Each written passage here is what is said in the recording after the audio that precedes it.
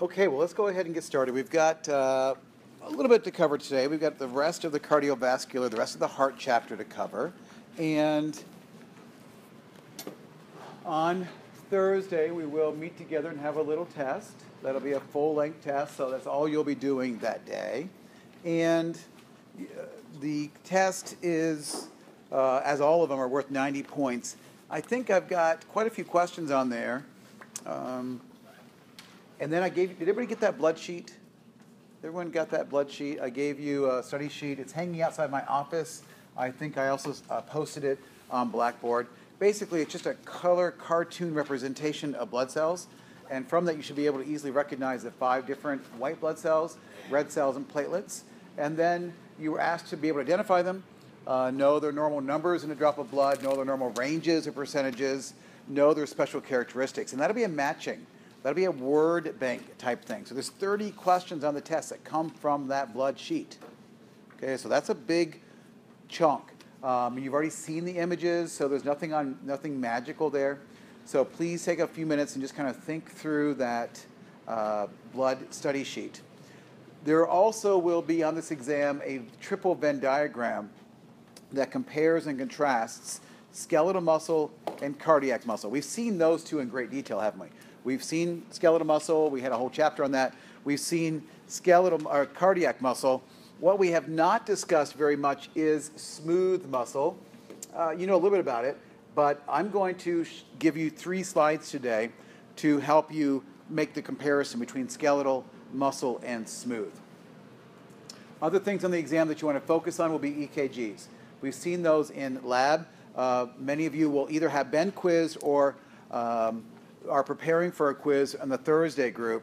And as long as you know the intervals or normal ranges, and you can imagine what's happening in the heart, not only what's going on with the conduction system, but what's physically happening with the heart, um, you know, where it's, what's contracting, what's relaxing, then you'll be fine. It takes a little bit of an internalization, sort of an imagining this whole thing. So you have to almost get a little, I think, a little video playing in your head of this process happening. And as you read through this, try to imagine it. Because if it's just random facts, then it will just be random facts. Try to make a little story. Try to get a picture kind of going in your head of this whole thing. Uh, make sure you understand um, excitation, contraction coupling. Uh, that's the whole story with the uh, action potential going down the sarcolemma of the muscle and what are the steps with the um, sarcoplasmic reticulum and the troponin C and the tropomyosin, that whole story with the actinomyosin sliding filaments. And then make sure you're comfortable with the blood cells. And I think that's probably where you're most comfortable. Uh, I would imagine the blood should be a very good part of this exam. You've been tested on it, you've been quizzed on it um, in lab. It's been the oldest material. Um, I think it's probably the most comfortable for you. The skeletal muscle is hopefully also feeling comfortable. And then the cardiac, because we're still in the middle of it, is probably the area that you're least comfortable. Let me say this I told it to my afternoon group. Next week, we have our third lab exam. That third lab exam covers blood and heart. It's much the same. And in preparation for lab exams in the past, you've had a PAL quiz, right? And you're probably anticipating a PAL quiz in preparation of next week's exam. And I did create one. But while I was creating that quiz, I realized you also, as a group, had not yet been quizzed on this week's lab material. And I always hate walking into an exam if I haven't had a quiz over it because I'm not sure what to expect. So what I ended up doing is I was making this PAL quiz. It ended up kind of being long. So I posted that quiz. It went live at 4 o'clock. That's going to be a double quiz grade. So it's really one long quiz. It's, it's a quiz to help you get ready for the lab exam, and it's a and it's a quiz that gives you some quizzing over what we did this week in lab. If you're struggling at all with EKGs or struggling with any of the cardiovascular blood content, it might be useful for you to take a look at that quiz this week. Take a look at it because there's questions in there, right? And if we, the more questions you see, the more comfortable you become with the material. So in preparation for this exam, if you're feeling uneasy about EKGs or blood, go ahead, jump over, look at that quiz. It's going to be on the mastering calendar. It won't be due until, quote, next Thursday when the last group takes the lab exam. For Tuesday students, you will have done that before I see you on next Tuesday. That makes sense for everyone? Okay, so just take a look at that. It might help you. Uh, the last thing would be tomorrow night, there's a quiz on cardio. So you should have two of your three quizzes done and out of the way. There will be in the semester a total of 12 quizzes, and the, only the top 10 will count. So if you missed one or two, uh, a number of you, uh, maybe not the group here, a number of you missed it over the holiday. And yes, I had a quiz due over the holiday. I know that. But just because it's due on the holiday doesn't mean you had to do wait to the holiday to do it. And so um, if you missed it, that's okay. There'll be two quizzes at the end that will be dropped. You can still go in and do the quiz. It just won't count for points. So I encourage you, make sure you go in and look at the quizzes and the homework assignments. Are there any other logistical things for me to be concerned about? I'm about one lecture behind. Um, according to the schedule, I should already be talking about the next content. Uh, so I'm about one lecture behind. That's, that's not too bad uh, this far in the semester. Any concerns, logistical things for me before I move on? I have a question. Sure. The quiz that was due on the Fourth of July. Yes. Due at four thirty. I changed it to midnight. That was a mistake. So anyone who took it after 4:30 and was getting partial credit got full credit. I didn't do it because I thought I wouldn't get credit for it. If I changed it to midnight, because that was a mistake. I should have been 11:59. Is there any way that, like, you can? You missed a quiz. It's okay. Um, I mean, there's 60 people in the class with 120 different excuses as to why they missed a quiz. And so I just make a policy. You get two passes. You, you know, you miss two quizzes for whatever reason. It's okay. Okay. Um, any other logistical concerns? Let's take a look. I, before I forget, actually, I'm going to slide over, and you can tell me what page I'm going to. Just because I told you there's a couple of questions on here about comparing and contrasting smooth muscle. And smooth muscle is most um, formally introduced to you in the digestive system. Because when you think of smooth muscle, what comes to mind? The muscle around your gut, right? So I'm going to jump, and you tell me where I'm going. I'm going to chapter 22 just because it has a couple of slides in here about smooth muscle. This is chapter 22. This will be the digestive system. It's coming up on the next test, and I'm going to 22.4. Can anyone find that for me, please? 22.3. 22.3. And tell me where I am. I want to go through these slides with you briefly. 22.3. No page numbers. So you went over approximately 22, 22, 22. Um, about 10 pages over, I'm being told. Okay, does that make sense? Just so you can follow along. So these, I, I just want to go through this so that you're clear about smooth muscle and you can make those comparisons. If I wait until the next test to ask you these questions, then it won't be as fresh for you. So I want you to be thinking about how these three muscle types compare. So this is 22.3 um, if you wanted to take a look at this in your book. There's about five or six slides here. Let me just compare this. Uh, again, this will be one of those triple Venn diagrams, so it'll be uh, one circle for skeletal, one circle for muscular, one circle for, for smooth, and I'll give you some facts, and you will tell me to which of the muscle types or to how many of them do these different facts belong. So smooth muscle, it's also called visceral muscle. This is stuff found throughout the body. It forms sheets, it forms bundles, it forms sheets. It goes around tissues. When you think of your gut, when you think of your intestines, when you think of your stomach, uh, part of the bladder, uh, that's what's going on here. And where else do you find smooth muscle? Also in your blood vessels, right? The tunica media, the middle layer of your blood vessels. So it is appropriate in this conversation on the cardiovascular system. And along the way, it is helping to regulate blood flow. It is helping to regulate digestive process. We learned about the sphincters back in 105. You know, the lower esophageal sphincter, the pyloric sphincter, the um, the anus. Those are all sphincter muscles that are controlled in large part by smooth muscles. And typically throughout the digestive tract, we'll get to that more later, there's two layers in the muscularis. There's that inner circular layer and an outer longitudinal layer. And you know that those two layers of smooth muscle are doing that peristaltic dance, right? And they're helping to squeeze and push food through the digestive system. We'll deal with that in the next test. Right now, what I want you focusing on are just how, and I'm going to skip over this, how is it that smooth muscle is similar or different from cardiac and, and skeletal? That's what you're focusing on right now. So these are relatively long uh, cells, they do contain actin and myosin. So all muscle contains actin and myosin, folks.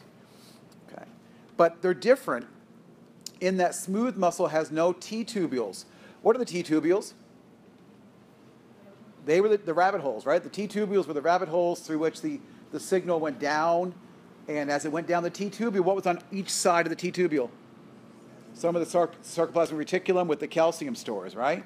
And we know what happens. So there are no T tubules here, and the sarcoplasmic reticulum is more of a loose network that travels all the way through the cell. There are no myofibrils, and there are no sarcomeres. So if there's no sarcomeres, what does that tell us? If there's no sarcomeres, that means that there's no regular overlapping actin and myosin units. Therefore, under the microscope, what do I not see? Striations, right? So I don't see striations because there aren't the regular actin myosin overlapping sections, aka there are no sarcomeres. So no striations, right? A smooth appearance compared to the striated appearance of skeletal and cardiac muscle. Instead, the thin filaments, right, rather than actin and myosin uh, working, they have them, right? But instead, the thin filaments attach to what's called dense bodies. And these are all over the place. They're sort of like the Z lines. What are the Z lines in sarcomeres? From Z to Z, right, is the sarcomere. So the Z line is sort of that end point. So these dense bodies are sort of like the Z lines. And what they're going to do is help to contract. So the smooth muscle is going to contract, but it's not going to contract the way that we saw.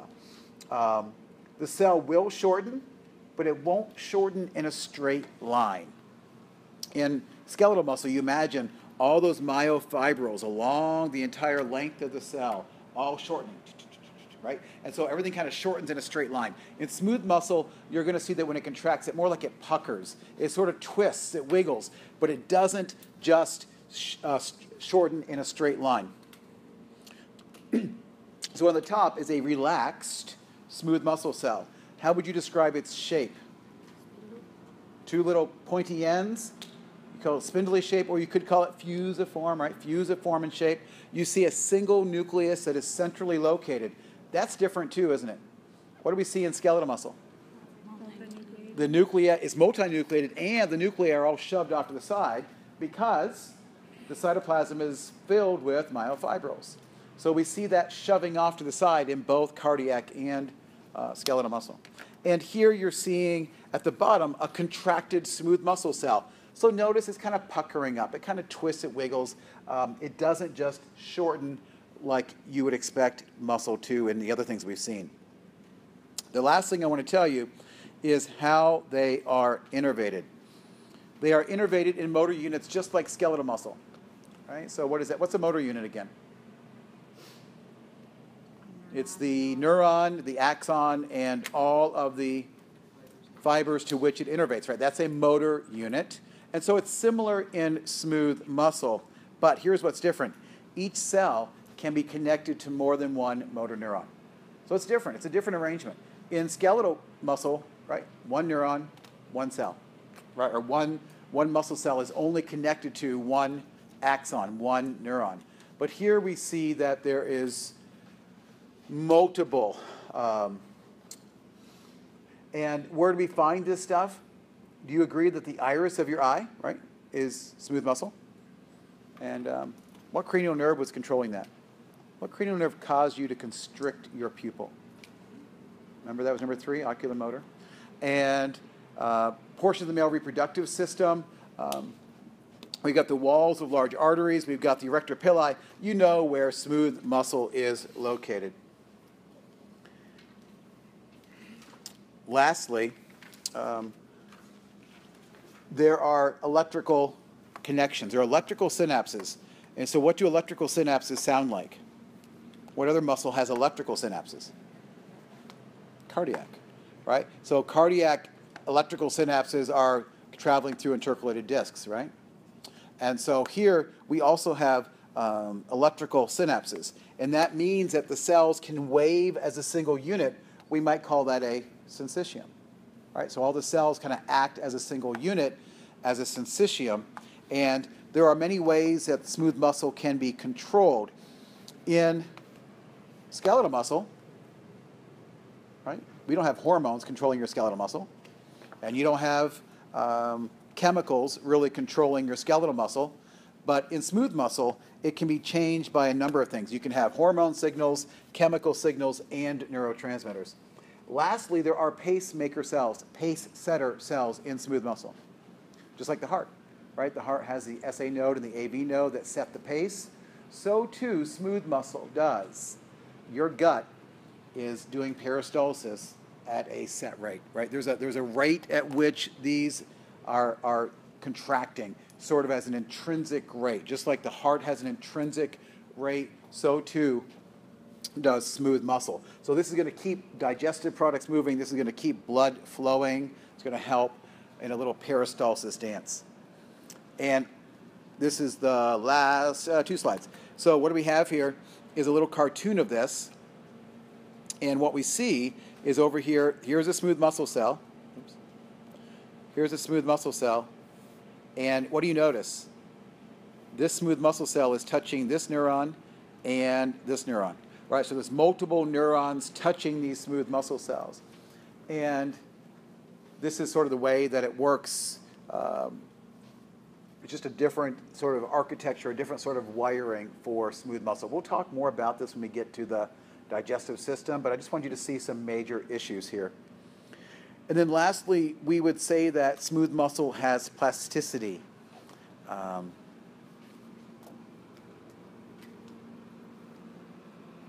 which means that it can change a lot. It can. It has a lot of pla- like. It, if the brain is very plastic, right, it means it can change. It can adapt. Same thing is true of smooth muscle. It can stretch and it can relax, and it's not like the heart.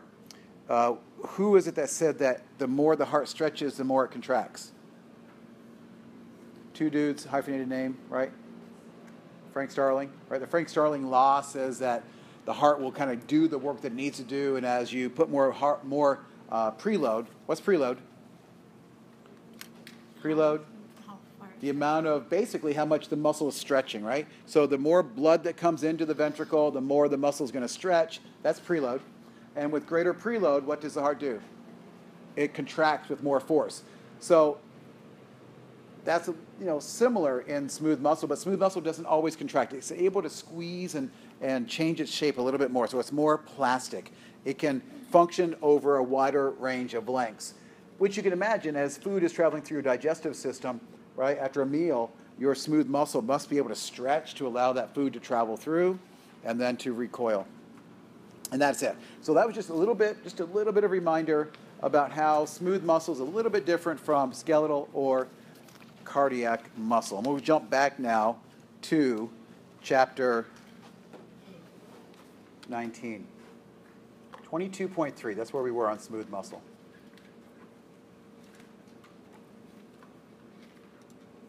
So we were picking up here on the section three, and we're going to be talking about cardiac output. You've seen a little bit of that in lab, or you will this week some more. We're also going to be talking about uh, resistance of flow, and we're also going to be going into regulation of blood pressure and chemo and baroreceptors. So that's where we're heading. Uh, we've got a fair amount of material to do, but it's I think all of this rest of the stuff makes really good sense. It's not it's not the real detailed stuff that we've had. It's not like we're dealing with the intricacies of an EKG. We're not dealing with the intricacies of the um, conduction system, but now we're kind of trying to figure out how this whole thing works. And I'll try to review as I'm going through this as much of the previous content as possible. So, what is cardiac output? Cardiac output. What's the equation for cardiac output? Heart rate times stroke volume. Really quick, what is stroke volume? It's the amount of blood being pumped out with each and every squeeze of the ventricles. And are the right and left ventricles, do they have the same stroke volume? Do the right and left ventricles have the same stroke volume? Yes, they have to. I mean, that's part of the mystery of the heart is that in order for the circulatory system to maintain its control, it has to be pumping the same out of the right side as it does out of the left side, even though the left side's under greater pressure. the volume is going to be essentially the same, right, and left sides. It has to be. How do we define stroke volume? Stroke volume, the amount of blood pumped out each and every time. How would we make an equation with stroke volume? It's E dV and diastolic volume minus ESV. And what are we saying? It's the amount of blood before the heart pumps and the difference after it pumps. And the amount of, that it pumps out, the ejection that it pops out, is the stroke volume. Now, what were the things that could increase, or what can things could modify? Not increase, but what things could modify stroke volume? What could modify or change stroke volume? Give me two or three things. Blood flow, venous blood flow. Venous blood flow back in. So if the EDV is greater, more blood's coming back in to the ventricle, then you would expect your stroke volume to be higher. Okay? That would increase um, stroke volume. What would decrease stroke volume? Afterload. What is afterload? Afterload was the resistance to pumping. So the more difficult it is for the heart to pump, the less blood you would expect it to push out. And what one disease would increase afterload? Atherosclerosis, right? So what's that doing is it's making the lumen of the vessels smaller, increasing the pressure, making it more difficult for the blood to be pushed out. That would be an increase in afterload, and that would decrease, yes, decrease stroke volume. One more thing that would increase stroke volume, increase. Preload, okay, uh, said preload, and that's right. Um, preload is the stretch of the heart, and just before that, we said that increased venous return and end diastolic volume increasing would also. So those are very similar, aren't they? Do you agree? More volume in the in the ventricle means greater preload, greater stretch of the muscle. But there's one more thing I'm looking for specifically that is going to in, Okay, it, yeah, yeah, you're too smart. Um, two things. One more, th- what I'm looking for right now, that's going to increase stroke volume. How hard the heart is squeezing, contractility. If the, sque- if the heart is squeezing more forcefully, would you expect it to squeeze more blood out? So the greater the contractility, the greater the stroke volume. Now, back to Jade's question or comment about heart rate. It would influence it, wouldn't it? If heart rate is really slow, what would there be more time for? Filling. And with more filling, there would be a greater EDV, and that would increase stroke volume. What if heart rate was really high? And we'll talk about this in lab tonight and on Thursday. If heart rate's really, really high, what would there not be adequate time for? Filling. Therefore, EDV would drop, stroke volume would go down, and overall cardiac output would go down. If what I've just said sounds like a bunch of gibberish, go back and listen. Okay? Because all the things I just said are kind of like on one of those charts, kind of an overview of stroke volume and heart rate and cardiac output. And uh, you need to be able to push the little up and down arrows here and think about what's happening. So if this didn't make sense, go back and listen to the first uh, 20 minutes or so, or uh, the minute 15 to 23. Um, with the um, increased heart rate, isn't it when it beats faster, it also beats harder? So Okay. The would question would be, okay, so Stacy's question, she said, if the heart beats faster, doesn't it also beat stronger? Right? And yes, under normal conditions, under exercise, with a normal healthy heart, yes, to a point. Yes, you can increase the heart rate, and under sympathetic surge, epinephrine causes the heart to also squeeze harder, and that vastly drives up your cardiac output. But in a diseased heart or with an aging heart, right, past prime, what happens? The heart is beating faster to make up for the decreased stroke volume. And the reason an older heart has a decreased stroke volume is because it typically, with age, comes higher blood pressure. Higher blood pressure leads to higher afterload. Afterload requires the heart to work harder to push the blood out. That's going to Any muscle that works harder is going to hypertrophy, right? It's going to get bigger. And I've said to you that a bigger heart is less efficient and therefore drives stroke volume down. Okay, so we got all these little up and down arrows to be thinking about. And um, this will be a multiple choice test, so it's not like I'm going to say put all of these things into one sentence or uh, tell me how all these things interact in a chart. But in a, mi- in a way, you have to have that story going on in your head because there'll be some questions and you'll need to be able to think about what's going on. Under normal conditions. Under normal You can almost say that they're inversely related, slightly. what's almost real inversely. Uh, heart rate versus time stroke volume. As we think about just normal aging, heart rate will go up because stroke volume does go down. Absolutely. In, in just the general sequence of life, heart rate will slowly go up and stroke volume will go down such that cardiac output stays the same. Because your brain, your kidneys, your liver, all your tissues still need as much oxygen as they needed, you know, as a child as they do now as an adult. So we need to keep cardiac output essentially the same. Yes. Okay, so that was a long commercial when I saw that word cardiac output. Okay, so why do we need sufficient cardiac output? Why do we have to keep it steady, essentially, throughout our resting life? Because all of our, our brain, liver, kidney, they need to maintain a certain amount of blood flow and therefore oxygen and nutrients. And if we don't have enough cardiac output, then we wouldn't have enough pressure to get the blood where it needs to go. Now, the amount of blood that goes to a tissue, you'll hear the word perfusion. The, the tissue is well perfused. And um, that's what you're looking for. You want a good distribution of nutrients. If there isn't sufficient cardiac output, then we know the kidneys get upset, right? If they don't have enough blood pressure, because remember we said the kidneys have a regulator on there. They start secreting renin when the blood pressure drops. So we know the kidneys are upset when the pressure drops. The brain, we're going to talk about the brain in a few minutes. And we also know when the pressure is too high, what does the heart do? The heart puts out atrial natriuretic peptide, right? So we know the heart is also uh, hormonally regulating blood pressure in part. So we've got both hormonal and nervous system controls that are maintaining the homeostasis of the heart.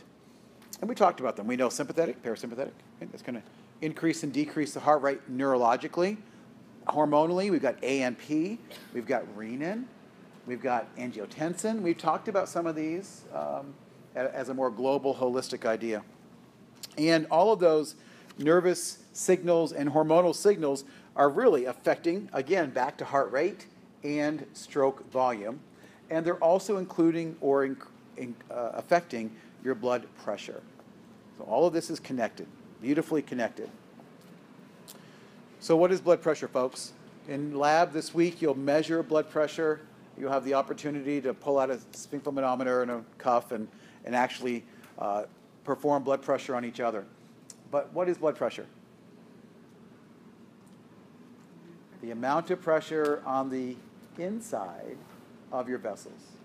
And we can't directly measure that, so instead we have to use, right, the method of blood pressure, which is an approximation. It's a pretty good one, a pretty good approximation. You know that atrial pressure, right, uh, within the whole, atrial pressure is much higher than venous pressure. Okay? Don't get the word atrial and arterial. So I just messed up. Atrial and arterial. I just said atrial, didn't I? I just messed up. So this is arterial pressure, right? Um, the pressure of the arteries is much higher than venous pressure, the pressure of your veins. Don't let the word arterial and atrial flip in your head. And we know that the pressure in your arteries must be much greater because it's having to push the blood up and out of the aorta, through all of your large vessels, and eventually to all of your capillaries. That's a lot of surface area. By the time you push blood out your aorta to all of your capillaries, that's a tremendous amount of surface area, and you've got to have sufficient pressure to push it all through. Now, what's going to be, what are the factors here? We'll, talk about blood pressure a little bit, but another one is resistance. Flow of blood through blood vessels is influenced by resistance. The greater the resistance, the well, how's that going to uh, affect flow? Decrease. Yeah, flow is going to go down if resistance goes oh. up. Right? It's an inverse relationship. Flow will be greater with less resistance. Flow will be less with greater resistance. And we'll see that resistance increases as vessels get smaller. Imagine that you're trying to pump blood through a big hose versus a smaller hose. So as you're pumping it through a smaller hose, right, the pressure is going to go. So we'll, we'll see that as we push through this. Now, blood flow in your capillaries is very slow. Tell me why. Greater time diffusion. We need blood to stay in your capillaries long enough for what to happen? Exchange. Gas exchange, but also hormones, nutrients, water, waste products, all of the stuff that goes from your cells into your blood vessels is exchanging at the capillaries. And there has to be time for all of that business to occur. So if your blood was going through your capillaries too quickly, there would not be adequate time for those exchanges to occur. We'll talk about that when we get to the respiratory system and how emphysema and other diseases affect gas exchange in the alveoli of the lungs. Um, so you need to have time for that diffusion. Now, what is that diffusion? Where is it? When you're at the capillary, where are you diffusing? You're diffusing from the blood, from the plasma, out into the interstitial fluid, the fluid around the cells.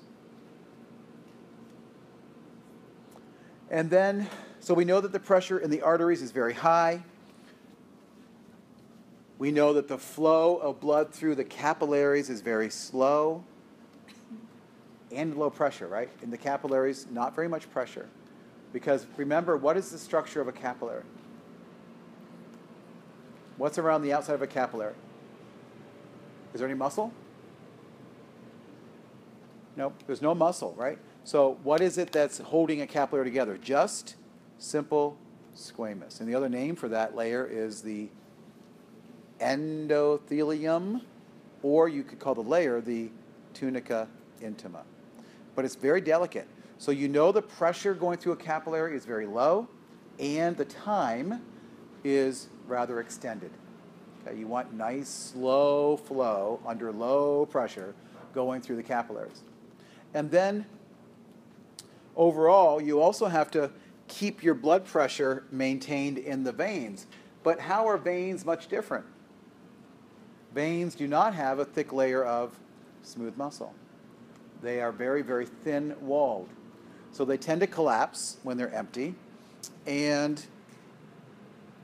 they're not pumping the blood. They're not able to squeeze the blood. Veins cannot squeeze to push the blood back to the heart. So how does blood get back to the heart? If the artery, if, sorry, the veins can't squeeze, there's three or four things that bring blood back. What are they? Muscle. Muscle contraction, especially the lower legs, are going to push that blood up through the leg. Any movement you do with your arms is also going to assist, but gravity is your friend, right, for the head and the arms more so. You've got a greater gravity issue with the legs. And so we've got the movement of your leg muscles is going to be squeezing those veins.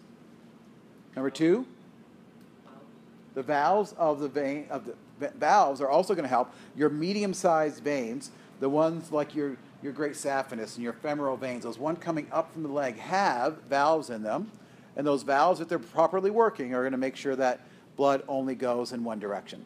Now, those valves can go bad, and what would be the symptoms of faulty valves? varicose veins and or swollen ankles right because what's happening is that the blood is is no longer moving in one direction it's tending to fall back down so these individuals would usually have puffier ankles and would have more varicose veins because those valves are are default defective and fluid is building up and who would be more prone for these varicose veins women in general true and standing still, right? A lot of standing still, uh, not moving around because that pressure builds up and those little valves get weak. Okay, increases the varicose veins. And one other thing that increases, two more things that increase blood flow back to the heart. Not only the movement of your legs and muscles, but also the breathing. So every time you breathe, your diaphragm is contracting, your thoracic cavity is changing its pressure, and that pressure change also helps to pull blood back up into your inferior vena cava. And then finally, the heart is a pump, but that means not only is it pushing blood out, it's also sucking blood back in. And so the suction of this closed system also contributes. And if the heart has to work harder, right? If someone doesn't exercise, someone doesn't breathe deeply, someone's not moving around a lot, that means the heart has to work harder to get the blood back to the heart. And what happens to a muscle that works harder? Gets bigger. And here we go, right? So with less exercise, um, the heart has to work harder, and that begins to cause the muscle to get larger. Stroke volume will become less efficient and, and go down. Heart rate will have to go up to compensate. And you begin to see how this whole story starts to make good common sense, right? What's the best thing you can do for your heart? Move, breathe, you know, just move. It doesn't have to be fancy. Just move and breathe deeply. So even deep breathing, yoga, all that kind of stuff is also very important for your heart. Venous return is simply the amount of blood arriving at the right atrium each minute. This should be the same as what? If all is balanced, venous return, the amount of blood coming into the right atrium, should be the same as cardiac output, what's going out the left. You agree? I mean, what comes in should be what goes out. So venous return, cardiac output should be balanced if the heart is healthy. But if for some reason the heart was not healthy, or let's say you're just beginning to exercise, then clearly they may not be the same, right? But in a normal homeostatic balanced situation at rest, venous return and cardiac output should be the same. So we're just looking at a little picture here, and we're reminding ourselves of all the ways that the body maintains blood pressure. So we've got neural and hormonal control. We know some of those hormones, right? ANH, renin, uh, sympathetic. We've got epinephrine, norepinephrine, and that is definitely going to have an impact on cardiac output, which has an uh, you know which is influenced by blood pressure, which is clearly influenced by resistance. Uh, the smaller the lumen, the greater the pressure, and all of this is also connecting to the pressure and the return of blood back to the heart. So this is all one beautiful story. So in blood pressure medicine, is it common to have like a vasodilator? A, a blood pressure medication could be, um, you're asking about a vasodilator. That would reduce your pressure, wouldn't it? But it would only do so much. Typically, they're going to be um, um, angiotensin ACE inhibitors. And we'll, we haven't talked about ACE yet. We, it came by in passing. We'll talk about it in the respiratory system. But ACE inhibitors are going to interfere with that renin aldosterone angiotensin pathway and are going to reduce, because what happens with renin? It causes your body to increase pressure. So if we can block that pathway, typically you'll keep a person's pressure down. So those ACE inhibitors are usually the number one uh, attempt. And we'll talk again, that'll come up again in cardiovascular system. Had a question earlier today about the final exam, and it says in the syllabus that it'll be about 25% cumulative, right? And there's a good example of, of a cumulative kind of question. Right now, we're talking about blood pressure, but when we get to the respiratory system, I'll mention ACE inhibitors and how it might influence blood pressure. And those questions, those big global questions, those big connections between systems will be the kinds of questions that I'll be focusing on on the final exam. It's not going to be nitpicky, um, but it's going to be just the big ideas between systems. So I think the, the cumulative portion of the final is not something you're going to be, you're not going to be going back and looking through your notes specifically for every little detail, and I'll help you with that when we get close to the end. So let's measure peripheral resistance. Resistance. Now, another way of saying this would be an increase in peripheral resistance would be an increase in afterload, right? We got those words kind of connected. So the greater the resistance to the blood pumping through the body, this is peripheral resistance, and you have to have sufficient pressure to overcome this peripheral resistance. In other words, the heart has to be able to over, overcome, and that would increase the afterload. Now, three things that increase or affect peripheral resistance. Number one, the resistance of the vessels themselves. Number two, viscosity. What's another word for viscosity? Thickness, right? How thick something is. And finally, turbulence. So let me go through each of these with you. Number one, vascular resistance is simply the opposition, the opposition to blood flow in your vessels. I've already said what would it, what would what disease would decrease flow? Atherosclerosis. And where does atherosclerosis usually occur? What kind of arteries? Big ones or little ones? It is more devastating, it is more common for atherosclerosis to be a problem in the big, elastic arteries. The big ones. So, what are the big ones? The ones under the greatest pressure aorta, common iliac, right? The big ones, um, carotid going up the neck, and renal. Um, renal, I mean, the kidneys get a lot of pressure, right? More than you would expect, but they get a lot of pressure coming off the aorta. So, those are the big ones. This is the big one. Um, and this is basically a friction that builds up between the blood and the walls of the vessel. Now, two things that affect friction would be the vessel's length and the vessel's diameter. Let's think about it. If the vessel is bigger around, resistance would be lower. If the vessel is smaller, then resistance would be increased. So we'll see that conversation. And then vessel length. Now, vessel length is not as much of a deal for you and me because our cardiovascular system, our arteries and veins are kind of where they are. We're not sprouting new arteries of significant length. So the length of our vessels is really essentially constant, not something that we're going to be worrying about here.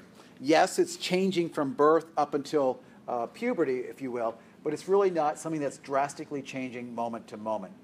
So if you increase the length of a vessel, do you agree that you would increase the surface area? So if I had a, a, a, hose twice as long, that means I've increased the surface area twice as much, and that would also increase the friction because it's the, it's the um, blood up against the vessel that's increasing this resistance or friction.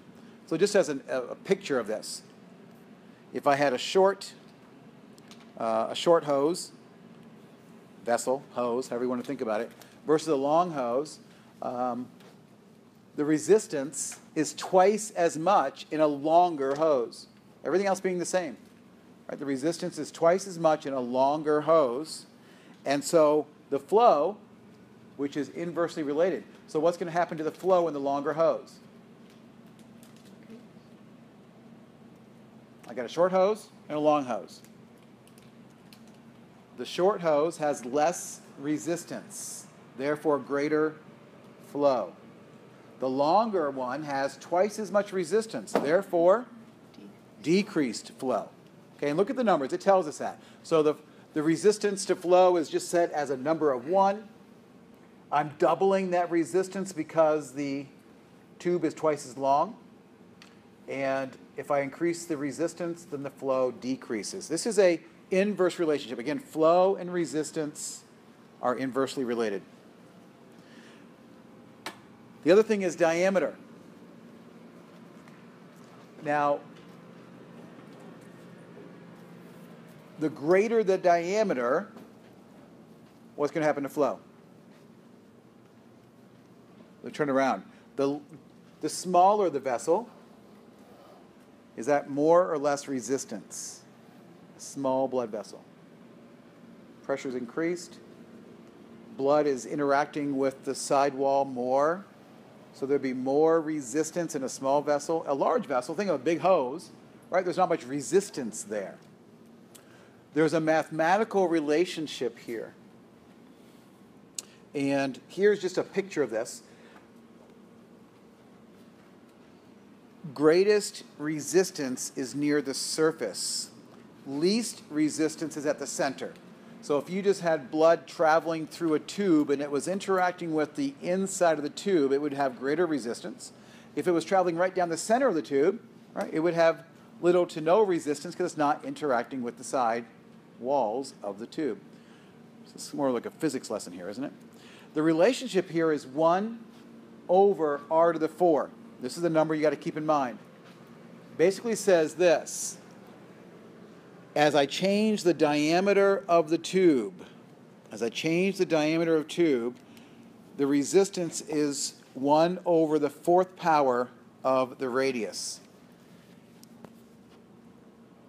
Where does the greatest control of blood flow come?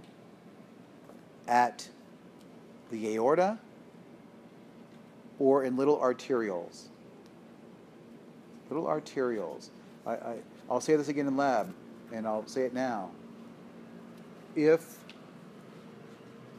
uh, as you look at an arteriole, you still see a lot of muscle around it. That muscle is the control mechanism so that during a sympathetic surge, more blood goes to your muscles and less blood goes to your gut. What is it that controls that? When you're by the campfire and you're in parasympathetic, more, then less blood flow goes to your muscles and more blood flow goes to your digestive system. That regulation of flow is at the arterioles.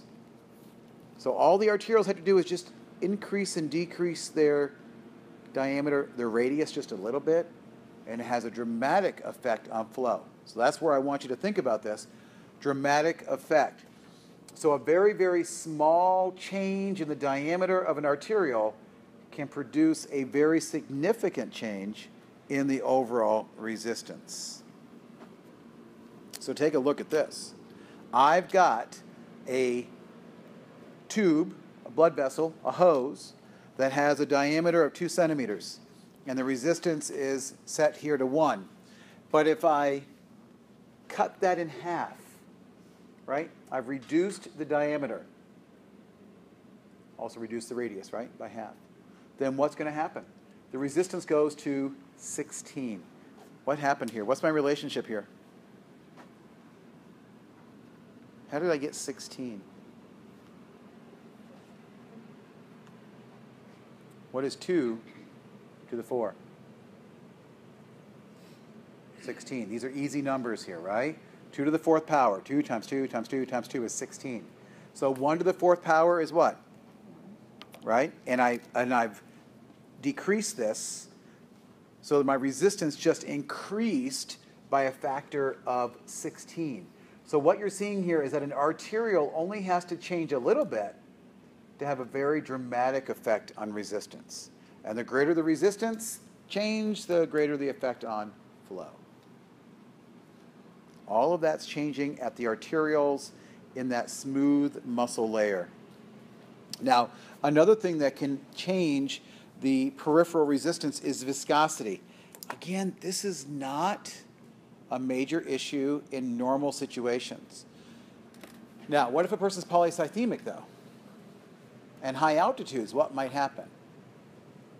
If you have a really abnormally high number of red blood cells and you have polycythemia, your hematocrit's really high, what would happen to the thickness of your blood?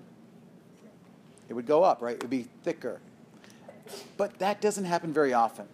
So viscosity of your blood is not a major player. You can appreciate, right, that if, if the blood is thicker, then it's to be more difficult to move. If it's thinner, it's to be easier to move through the tubes. But our blood thickness, our viscosity, really does not change that much. So it's not a major consideration. Just like I told you, length of our vessels is not a major consideration. So too, viscosity is normally not a major consideration for our blood which means that the number one thing that changes our flow of blood is what? Diameter, right? We're back to diameter and radius of the tube is what is so important in regulating it. Now, blood is about five times more viscous than water, yes, but it's pretty much stable.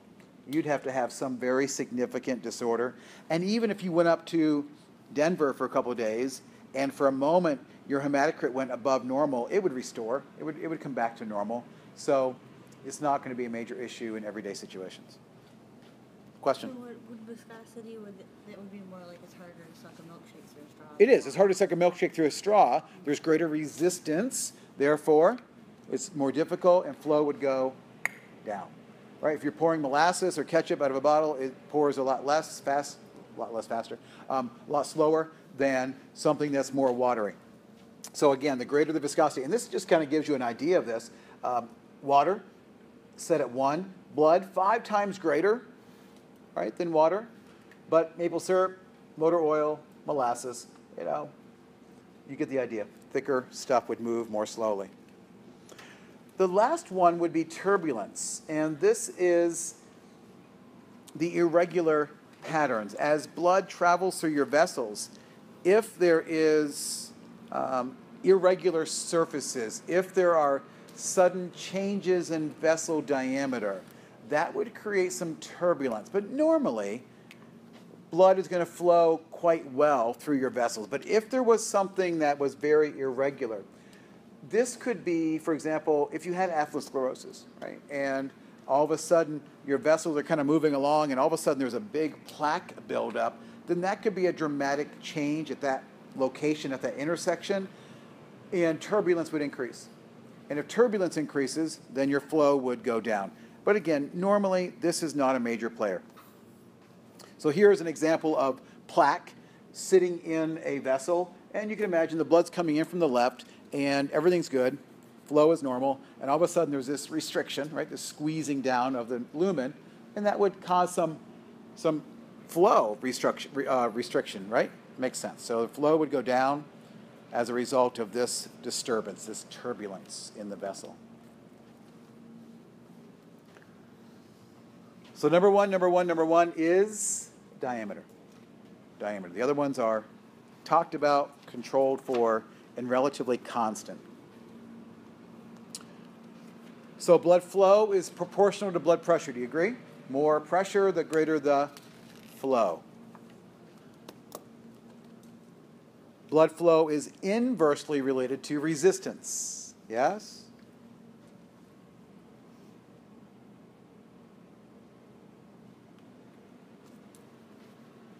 There is a tremendous gradient. Um, we know that when you think about diffusion, what is diffusion? The movement of molecules from an area of higher concentration to an area of lower concentration. That we've got that we've got that mantra down. We can kind of imagine that. The same is true for fluids moving through a tube. Fluids will not move unless there is a pressure gradient, not a concentration gradient, but a pressure gradient. If you've got water sitting in a, in a hose, right, and the hose is just sitting there, and there's nothing pushing it through, the water is just going to sit there, right? So there has to be a pressure gradient. There has to be something pushing the blood through the blood vessel. Well, that's what the heart does, right? It pushes it, and it pushes it under great pressure at the aorta.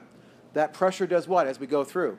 It's going to drop and drop and drop. It's dropping for two reasons. It's dropping because we're going further away from the source of the pressure. But what else is happening? As you go from the aorta and then you split, aortic arch has three branches off it. And then you go off the aorta, and you get all these little branches coming off. What's happening? As you go further and further away from the heart, the surface area is increasing. And that means that the overall pressure is going to decrease. So the further you go away from the heart, the more surface area that blood now has to fill. And when you get down to the capillaries, you've got, you know, hundreds more spaces, if you will, to fill with that blood. And so the pressure definitely drops down. And then we talked about getting it back. So from the heart to the capillaries, what's pushing the blood? Pressure from the aorta, basically. Once we get past the capillaries, what's pushing the blood? There's no longer something pushing, there is instead something now basically pu- pushing more from the pushing the veins up, the valves, the breathing, and the sucking of the heart. But it's a different kind of pressure gradient, isn't it? Again, the big thing is diameter. Changes in diameter are going to be critical here. So from the aorta to the capillaries, like I just said, we're pushing. The blood vessels are diverging, they're branching. The overall diameter is increasing. Sorry, decreasing diameter, right? The vessels are getting smaller. So the aorta, and then going down to the brachial artery, then going down to arterioles. The diameter is decreasing, but there's also going to be a decrease in the pressure and a decrease in the flow. Remember, I told you at the capillaries, flow is nice and slow. Nice and slow. And from the capillaries back through the vena cava, then we're converging. So we're increasing the diameter. As you increase the diameter as it comes back, you're decreasing the resistance. And this actually increases the flow. Make sense? In other words, the, the, the speed at which blood leaves the heart has to match the speed at which blood comes back to the heart. Yes? Right? So as the heart is pumping blood out under force, as much blood must be coming back into the heart with as much, not as much force, but as much volume. So as we go further away from the heart in arteries, the area is increasing and pressure goes down. As we come back to the heart, the speed of blood actually has to speed back up, doesn't it? So we're going from very slow through the capillaries, and then we're actually picking up speed as we come back to the vena cava because overall our area is reducing, and that's going to push things faster through. So we've already said this the greatest pressure is at the aorta, we know that. Average pressure about 120. That 120 would be what? The diastolic or the systolic? Systolic, that is the pressure of contraction. So that's the greater pressure. And the pressure drops and drops and drops. And by the time you get down to the capillaries, it's down. Some figures will show 40. This is saying around 35, but it's appreciably lower. And by the time you leave the capillaries and enter into the venules, you're down to around 20, 18 to 20 millimeters of mercury. And then by the time you get back to the vena cava, you are essentially zero.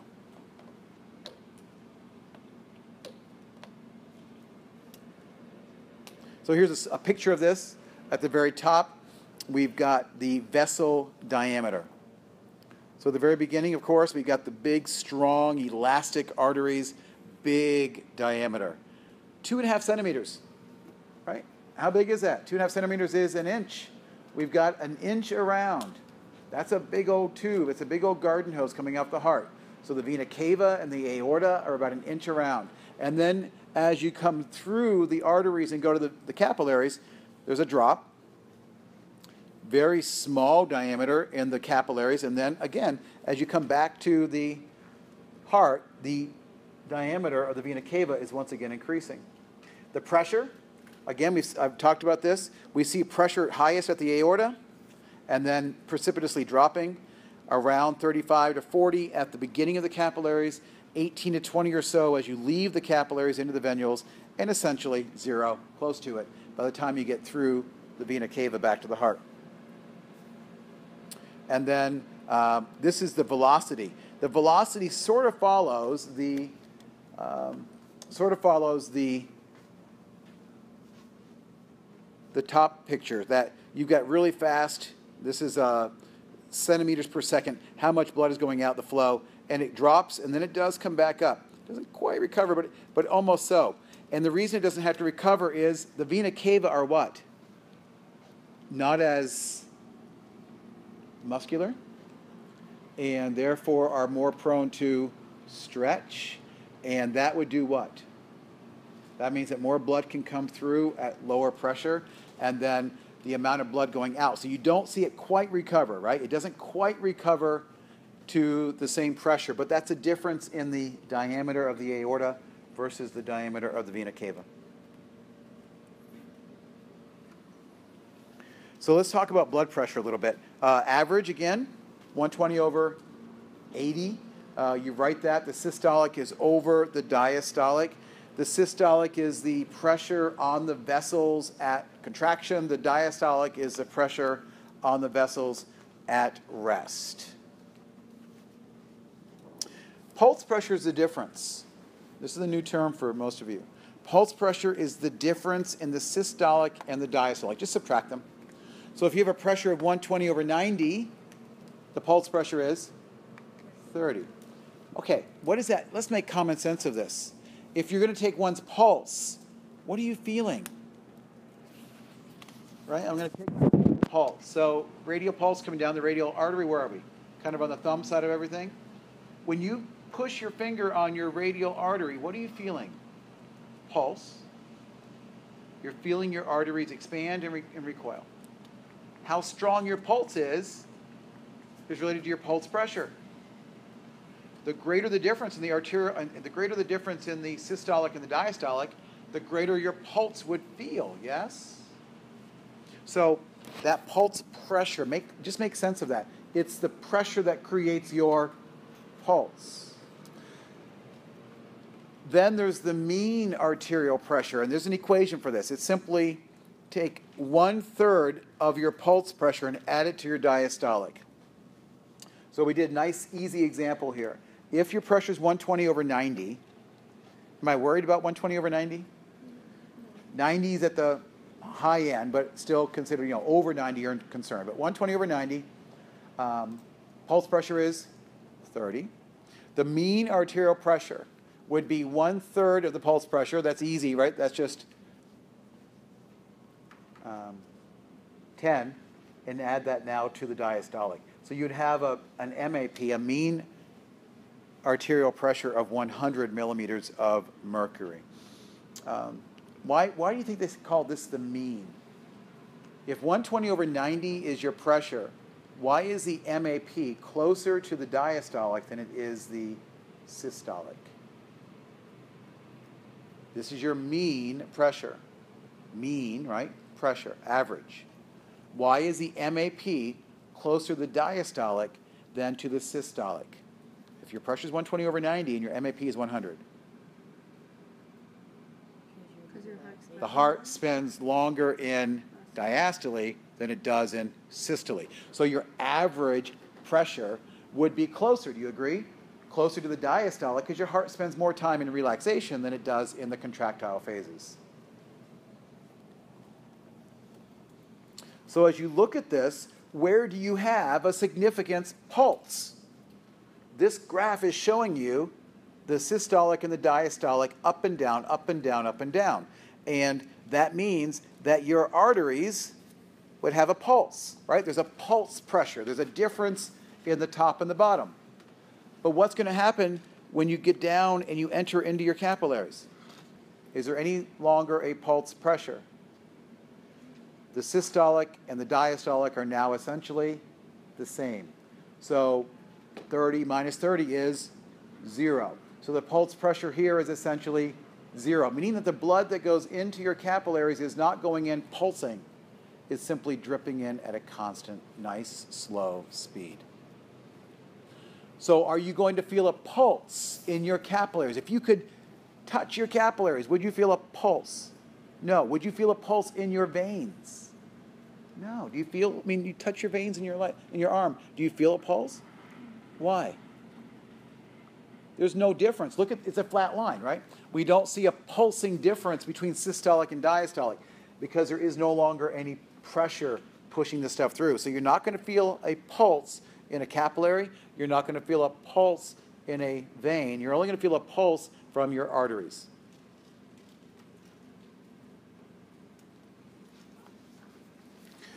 I've told you that the flow of blood through a capillary must be slow, long enough for diffusion of nutrients and gases to exchange and hormones to do their thing. All of that exchange must happen, water exchange. That means that there's going to be a capillary hydrostatic pressure, CHP. All that means is the pressure in your capillary beds. Okay, don't make this hard. It's just the pressure in your capillary beds, CHP. And there has to be a certain amount of pressure to get the blood through, but again, we don't want it too high. This same pressure, though, is what's going to help push water out.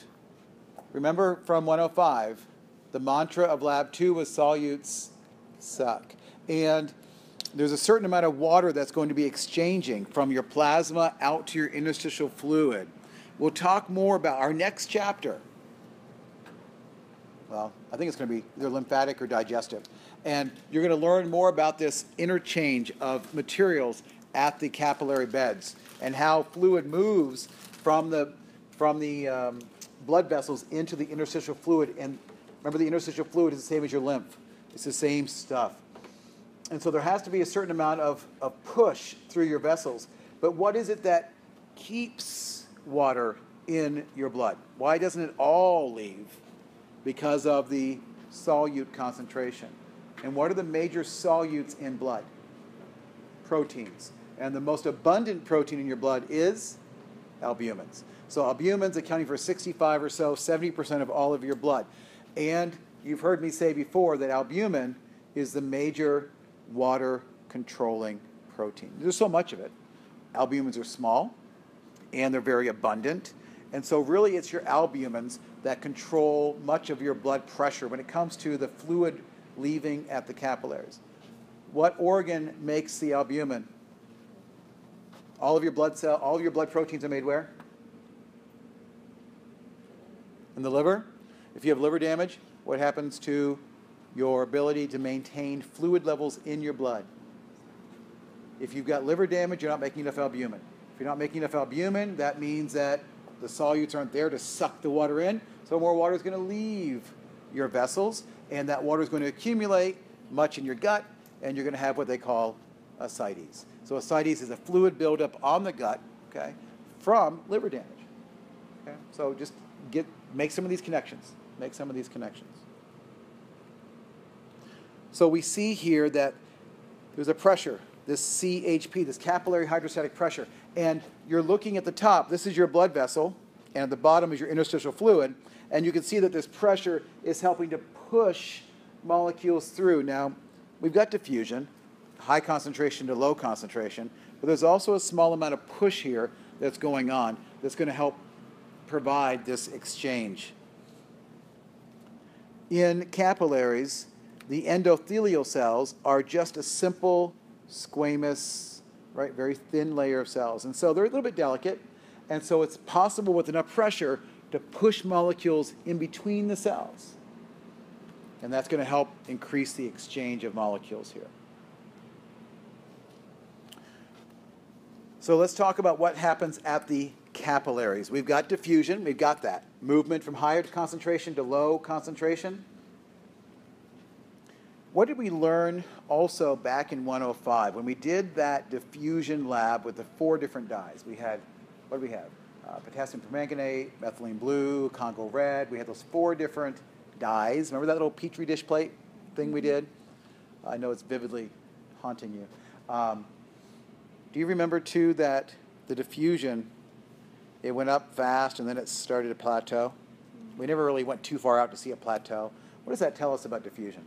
Diffusion is pretty fast in a short distance, but as the distance increases, the rate of diffusion is going to go down. So diffusion is great for short distances. Diffusion is great if there's a significant concentration gradient, and diffusion is fantastic if the ions and molecules are themselves quite small. Okay? And that describes most of the things that happen at the capillary. We've got a very short distance, we've got a significant concentration difference, and the molecules are small. So diffusion's great, but if the molecules aren't that small, or the concentration gradient isn't that big, or the distances gets increased, then diffusion is no longer the best way to exchange. Then there might be some active transport or some other mechanisms in place. So again, small things, water, small ions, small molecules, glucose, amino acids. We'll get to urea when we get to the kidneys. We'll see that those things easily move back and forth. Sodium moves pretty well, but big things can't, right? Bigger molecules can't move across the capillary, which is good, which means albumin and other proteins should not be moving, just the small molecules as a result. So, this filtration that occurs, I want you to imagine a capillary, and I'm going to draw this. Uh, here's the capillary, here's the arteriole. We're coming into the capillary, and then the capillary goes into a capillary bed. Okay, this is just my really horrible drawing. And then we always picture what happens. Gas exchange, so we always say that the, you know, oxygen dropped off, CO2 got picked up, and then all of that drains back into a venule, right? So this end of the capillary up here, we're going to call the arterial end of the capillary. It's the artery side of the capillary. The blood there is more oxygenated. There, would you agree, is where the greatest CHP is? We know that the pressure is like 20, 30 or so, 35, 40 going into a capillary bed. And what happens as it comes out of the capillary bed, it's even lower. So the pressure is greater at the arterial end. What's that going to do? If the pressure is greater at the arterial end, it's going to push even more small molecules in water out into the interstitium. Yes? And that's filtration. There's going to be a lot of movement of stuff out from the plasma into the interstitial fluid.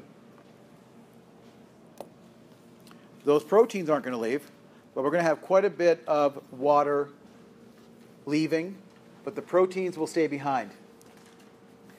And what happens here there's also a blood colloid osmotic pressure. Remember that word? We had that somewhere else, didn't we? Colloid pressure, the very, very first week or so with water regulation. And the colloid pressure was basically, in this situation, think of albumin. And as long as there's lots of albumin and the solutes are sucking, that is the colloid pressure. It is the it's the sucking of the solutes to keep the water in the capillary. So we have this CHP is greater than the BCOP. Okay? It's greater than the blood colloid osmotic pressure. Now, at this point, there is the net filtration pressure, the NFP. And all this is, is the difference, CHP minus BCOP. It's the difference between the hydrostatic and the colloid pressures. As long as CHP is bigger, what's going to happen? What's going, to be, what's going to be happening if the capillary pressure is greater than the colloid pressure? Then you're going to have more water and molecules pushed out into the interstitium. But what's going to happen at the venous side of the capillary bed? What do you think? What's happening down there at the other end? What happens to the concentration of albumin as blood travels through a capillary? What happens to the concentration of albumin as blood travels through a capillary? At the very, very beginning, there's a higher capillary hydrostatic pressure. So, what's being pushed out into the interstitium? Water. What's remaining? Albumin. So, as we go through the tube, at the end of the tube, now the concentration of albumin has effectively done what? Gone up. So now what would those greater solutes do? Suck the water back in. So what you see is that at the beginning of a capillary, there's greater filtration. At the other end, there's more reabsorption. This is that exchange. Right? It's not just a matter of oxygen and CO2 exchanging in capillaries, it's also fluid. And you'll hear me say this a lot next week. The plasma of your blood is essentially the same as the interstitial fluid between your cells, which is essentially the same as the lymphatic fluid traveling through your lymphatic structures. And that exchange, where, how do these things talk to each other? How is it they're all the same? Is because of this exchange that happens at the capillaries. At about two thirds of the way through the capillary, there's no movement. In other words, uh, net filtration comes to zero, and that's because capillary hydrostatic pressure and the BCOP come to be equal to each other. And if there's no pressure difference, what happens? We just sit in a tube. If there's no pressure pushing water, what happens to the water? Doesn't move. If there's no net filtration pressure, then nothing is going to be continuing to be moving. You kind of come to a standstill. Everything's kind of stopped. Nothing's going into or out of the vessels. That's around two thirds of the way through. But I've already said what happens. As you get to the far end of the capillary, off to the venous side, now reabsorption predominates. Now the CHP is less than the blood colloid osmotic pressure. Again, think about albumin. At the arterial side, water is being pushed out. And so at the venous side, the concentration of albumin is actually greater. That pulls more water in. That's the reabsorption that's going on. More water leaves your bloodstream than is reabsorbed. And this is your interstitial fluid. This is about three and a half liters a day. Three and a half liters a day you're losing from your bloodstream into your interstitium. Now it's being replaced, but you're losing three and a half liters. How much blood do you have? Well, you got about five or six liters of blood. And how much of your blood is water? How much of your blood is water? 92% of your plasma is water. Your blood, let's say a male, right? 50%, right? 50% formed elements, 50% plasma. So that means that the average male with a hematocrit of 50 has about two and a half liters of fluid, right? Maybe three. So what am I telling you? Essentially, your entire plasma volume every day is lost out of your blood and is exchanging at the capillaries with your lymphatic and interstitial fluids. Now it's replaced, but there's a lot of exchange here. So when you think about capillaries, don't just think about gas. Don't just think about nutrients, don't just think about hormones. Also imagine this fluid that's moving back and forth. This is a great visual. So here we are, arterial side, greater pressure coming into the capillary bed. Here the capillary bed is shown as a single tube, but imagine you've got as many as 100 even of these little branches off the capillary bed. And as you enter into the capillary bed, the pressure is higher from the pressure of the blood than it is from the uh, colloid pressure. So that means that more stuff is being filtered out. But then at about two thirds of the way through, net filtration equals zero. And then as you get to the far venous side of the capillary bed, now reabsorption occurs. So you return most of it. But do you return all of it? No, I just told you that during a day you lose three and a half, three and a half, 3.6 liters of fluid that you don't return. So you're losing more than you return. Now, where do you think there could be some major variations here? Think about your lungs for a second. Do you have capillaries in your lungs? Right? Alveoli, gas exchange. Do you want to leave fluid behind in your lungs? No. So guess what? The story there is different. In the capillaries of your alveoli, you don't leave fluid behind. Okay? You do leave fluid around in most of your tissues, but in your alveoli, you don't want to leave fluid behind. So it's a little bit of a different story in your lungs. Okay? Now, what if you are hemorrhaging? Blood volume and blood pressure are decreasing. If your blood pressure decreases, that means your CHP, your capillary hydrostatic pressure, is going to decrease. And then what do you think is going to happen? It increases capillary reabsorption. Okay. So you're going to get more fluids. It kind of makes sense. Your body's trying to get fluid back, isn't it? So if your blood pressure is dropping, your blood volume is dropping, what's your body going to do? Try to gain some of that back. So it's going to try to gather some of that fluid back. So you'll see a greater, quote, recall of fluids coming back in at the capillaries. If you're dehydrated, what happens? Plasma volume would go down, blood pressure would go down, CHP would go down. Okay? And what if your CHP rises? Or the BCOP drops significantly? Does it make sense that you would have an increased filtration? And increased filtration means more fluid is going out into your body, and you would complain that you have edema, right? You're building up fluid. So, what's the number one thing that's going to cause this?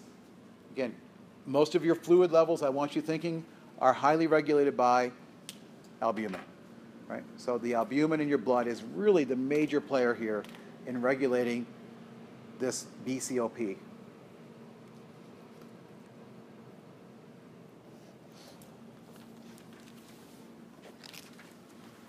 So, how is the body regulating all this? We talked about vessels, length, and viscosity and diameter. We've, we've mentioned um, flow and resistance. We, we know a little bit about arteries and veins. We know the heart's having to work to pump the blood, and the veins are having to kind of pull the blood back into the heart. So, we talked about these big ideas. How is it regulating this whole thing? There's a couple different homeostatic mechanisms you need to make sure that your tissues are well perfused. What was that word again? It meant that your tissues are getting enough oxygen and nutrients, and your tissues, like your brain, requires about 25% of all of your oxygen. It has to be highly perfused. Other tissues aren't quite as finicky, don't require as constant a high level. There are two main ways that your body's going to maintain this blood pressure.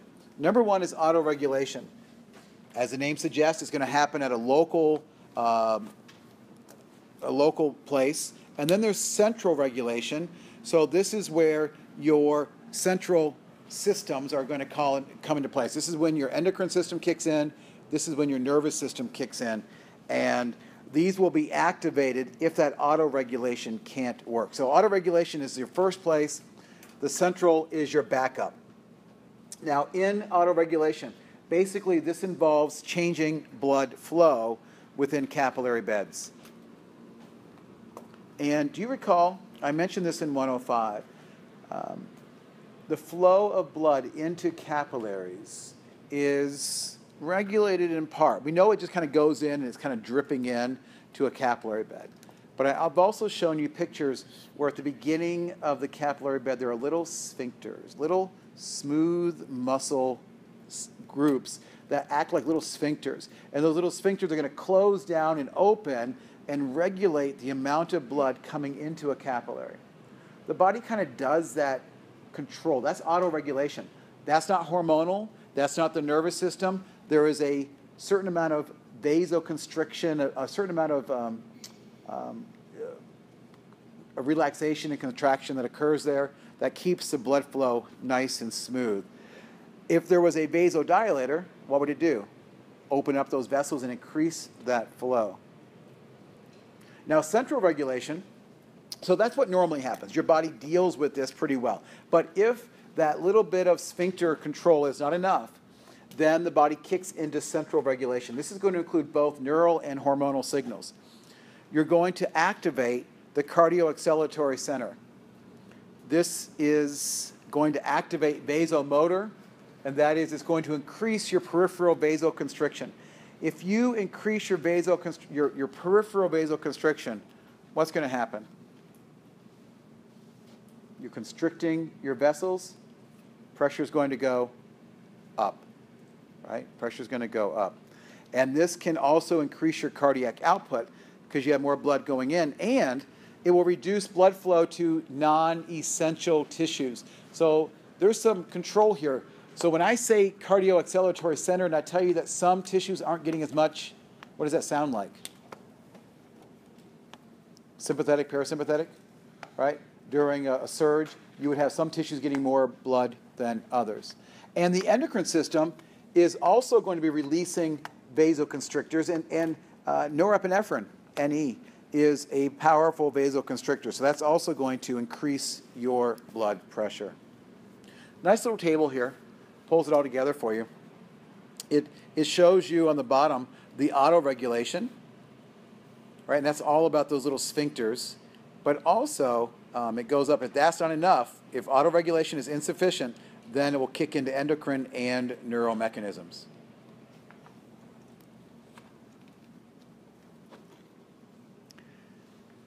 Now, you were introduced to these before. Um, there are, as a part of this story, a baro and chemo receptors. What would a baro receptor do? Detect or monitor pressure. Okay? And these baroreceptors are strategically placed in the carotid sinuses. The carotid sinuses are where the common carotid splits into the internal and external carotid. There's kind of a little space there, a sinus.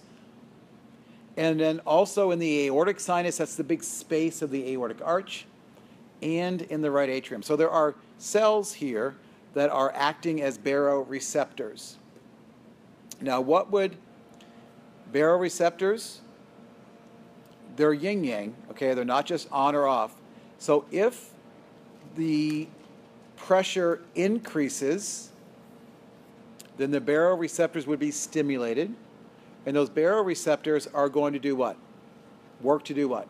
If your pressure is going up, those baroreceptors are going to do everything they can to increase or sorry, decrease your blood pressure and your heart rate. So what would you release? Would you increase uh, would you increase sympathetic or parasympathetic? Parasympathetic, right? You want to re, you want to reduce the blood pressure. Do you recall what is the neurotransmitter of the parasympathetic system? When you think of sympathetic, you think norepinephrine or epinephrine, right? When you think of parasympathetic, acetylcholine. So guess what acetylcholine does to the heart? Slows it down. Okay, so acetylcholine is a uh, reducer in heart. Now, what does acetylcholine do for skeletal muscle? That is the major neurotransmitter that tells the muscle to contract. So we see acetylcholine does something different in skeletal muscle than it does here. Here it's going to help actually lower pressure. If instead, down here, the baroreceptors were decreased, pressure was low, what would your body want to do? Increase the pressure, right? We need to keep blood pressure within a homeostatic norm. And so here we're going to do what?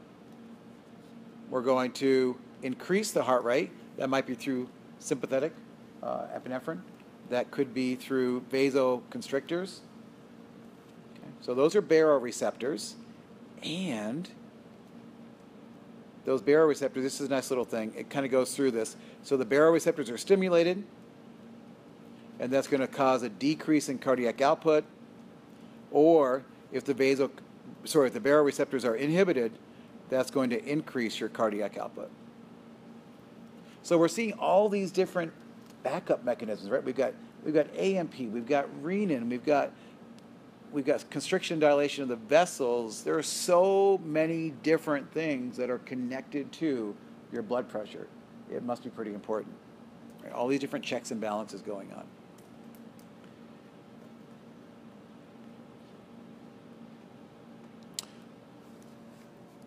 So we've got these baroreceptors. Um, there's, that's a, that's a uh, nervous system connection. Here's an endocrine system.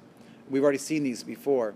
Uh, we've got some hormones that are going to act short term and some that are going to act long term in helping to regulate the cardiovascular system. Number one, the heart. Tell me what hormones being in, re- released here? ANH or ANP, right? Uh, atrial natriuretic peptide or atrial natriuretic hormone. That's released when pressure is too high. The kidneys, renin, when pressure is too low. Remember, that's the kidneys are responding responding to low pressure, and then the pituitary gland, specifically hypothalamus, releasing it through the posterior pituitary, releases ADH. And what does ADH do? Antidiuresis, fluid would be increasing, therefore pressure would increase. Okay, so we see these hormones. We know these hormones. This is just a nice little comfortable review about those blood pressures or about those uh, hormones. Now, if we want to quickly respond to low blood pressure, the body can spit out some epinephrine. What would that do? Raise your heart rate, right? That's a quick response. We know that sympathetic changes are fast, right? Very rapid. So if there's a really dramatic, immediate response needed to a low blood pressure, the adrenal medulla can simply release some epinephrine or epinephrine. But again, if we want long term regulation, ADH, we just talked about angiotensin 2. Where was that one? Remember this angiotensin 2? Renin, the angiotensin. Again, it's all about increasing pressure. How about EPO? It's, yeah, it's made by the kidney, a little bit by the liver. And what does it do?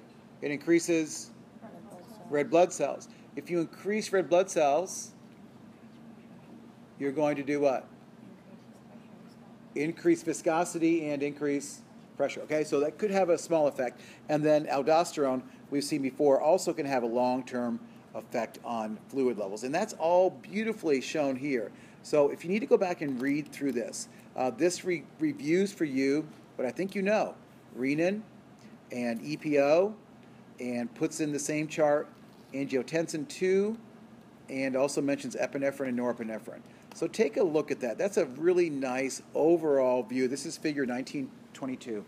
But I think you'll find it to be very comfortable, but something that'll be helpful to review um, as we start putting all these different features together. Can you repeat what the angiotensin two was? Angiotensin 2 is part of that renin pathway. So renin um, activated angiotensin 1. Angiotensin was then uh, angiotensinogen, which went to angiotensin 1. ACE then did angiotensin 2. But collectively, what does it do? Increase blood pressure, right? So just know ultimately it's increasing blood pressure. And then here's ANP. Now, not only do you have ANP, where's ANP made? In the aorta, right? The atria. Not, did I say aorta? Atria. Atria. Um, there's also BNP. That would be the same stuff, but instead made by. Actually, this is made by the ventricles. Okay, so it's interesting. You've got you've got ANP, released by the atria, and you have BNP released from the ventricles. Hmm. And what do they? They both do the same thing. They're going to do what? De, they're, they're basically being released when pressure is too high. So what are they going to do? They're going to help to decrease the stress on the wall, which means that they're decreasing what? Volume of blood, which would decrease the stretch on the muscle, which we would also call preload. Remember, preload was the amount of stretch on the muscle, and that's what ANP is doing, isn't it? It's decreasing that.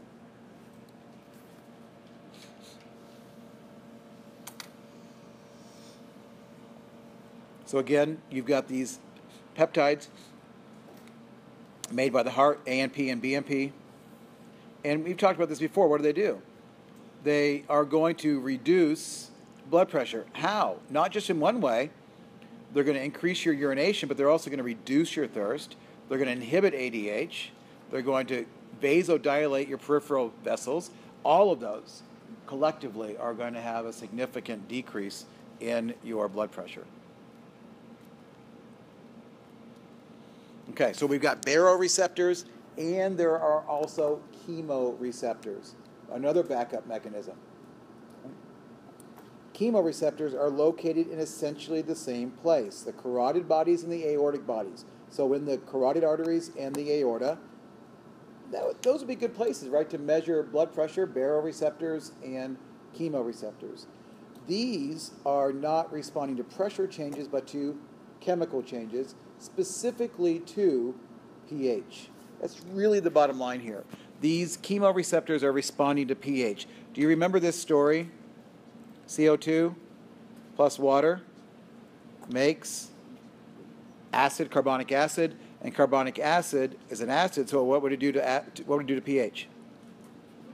Lower the pH. Okay. So you know that with increased CO2, with increased CO2, right? As CO2 goes up, pH goes down.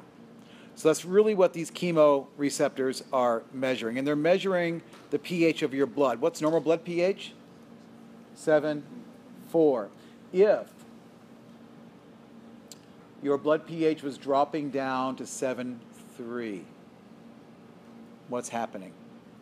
The blood is becoming more acidic. What's causing it to be more acidic? Your blood is building up CO2. Okay? So, what would your body do? It wants to get rid of that CO2. So, what would your body do? Increase respiration. We'll get to that story with the respiratory system. Absolutely. You're going to want to get rid of that CO2 and you want to get more oxygen in. So, your respiration rate is going to go up and your heart rate would also go up. Okay. So, if your blood pH starts to go down, we say you're becoming acidotic, you're becoming more more acid, you know, going more toward acidosis. And why? For some reason CO2 is accumulating. So you have these receptors measuring pH of your blood. And if those chemoreceptors are triggered, then they're going to cause a change in your blood pressure as well. So that's shown here in this figure. Again, if the chemoreceptors are stimulated, that is increased CO2. So increased CO2 stimulate the chemoreceptors, and that is now going to cause not only your respiration to increase, but also your heart rate to increase. Turn it around. If your blood pH is starting to go up, 7.45, right? It's going up. What does that mean? Less CO2, more oxygen. What would that tell you?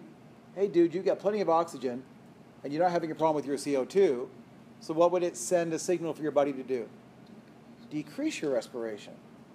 So decrease your breathing rate and even slow down your heart. So we see this yin yang going on with these chemoreceptors. Yep, for yep, and we'll get to that in next chapter. Absolutely. Okay, she's talking about hyperventilation. We'll get to there next week. So what happens when you're exercising? At rest, here's a number: 5,800 mils per minute I said last time, average around 6,000. Where did that 6,000 come from?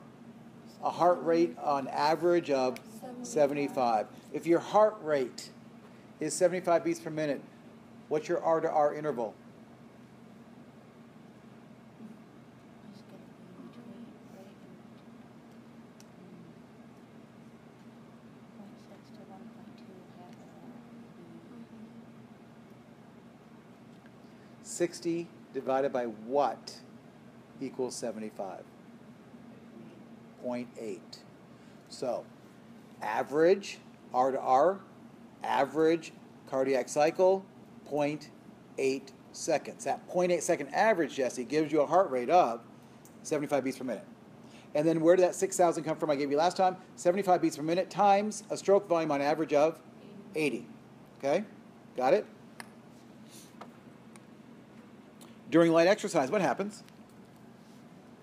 Respiration goes up, heart rate goes up, venous return goes up. With increased venous return, that's going to increase your EDV, which is going to increase your stroke volume. The heart will also, because Frank Starling told us so, not only will it take in more blood, but it will also contract more forcefully. So together, this is going to give us an increase in cardiac output, mostly due to venous return. This is light exercise. Okay, we're going to get going to heavy duty here in a second. But as you get going, more blood comes over from your venous side and pops into your heart. Then during heavier exercise, you can get cardiac output up into the 17, 15 thousands. That is much, much higher. And now you've got increased flow of blood to your muscles, increased flow, uh, increased flow to your skin. Why do you want more flow to your skin? You become red, you become, you know, all ruddy in complexion. It's going to help you get rid of heat.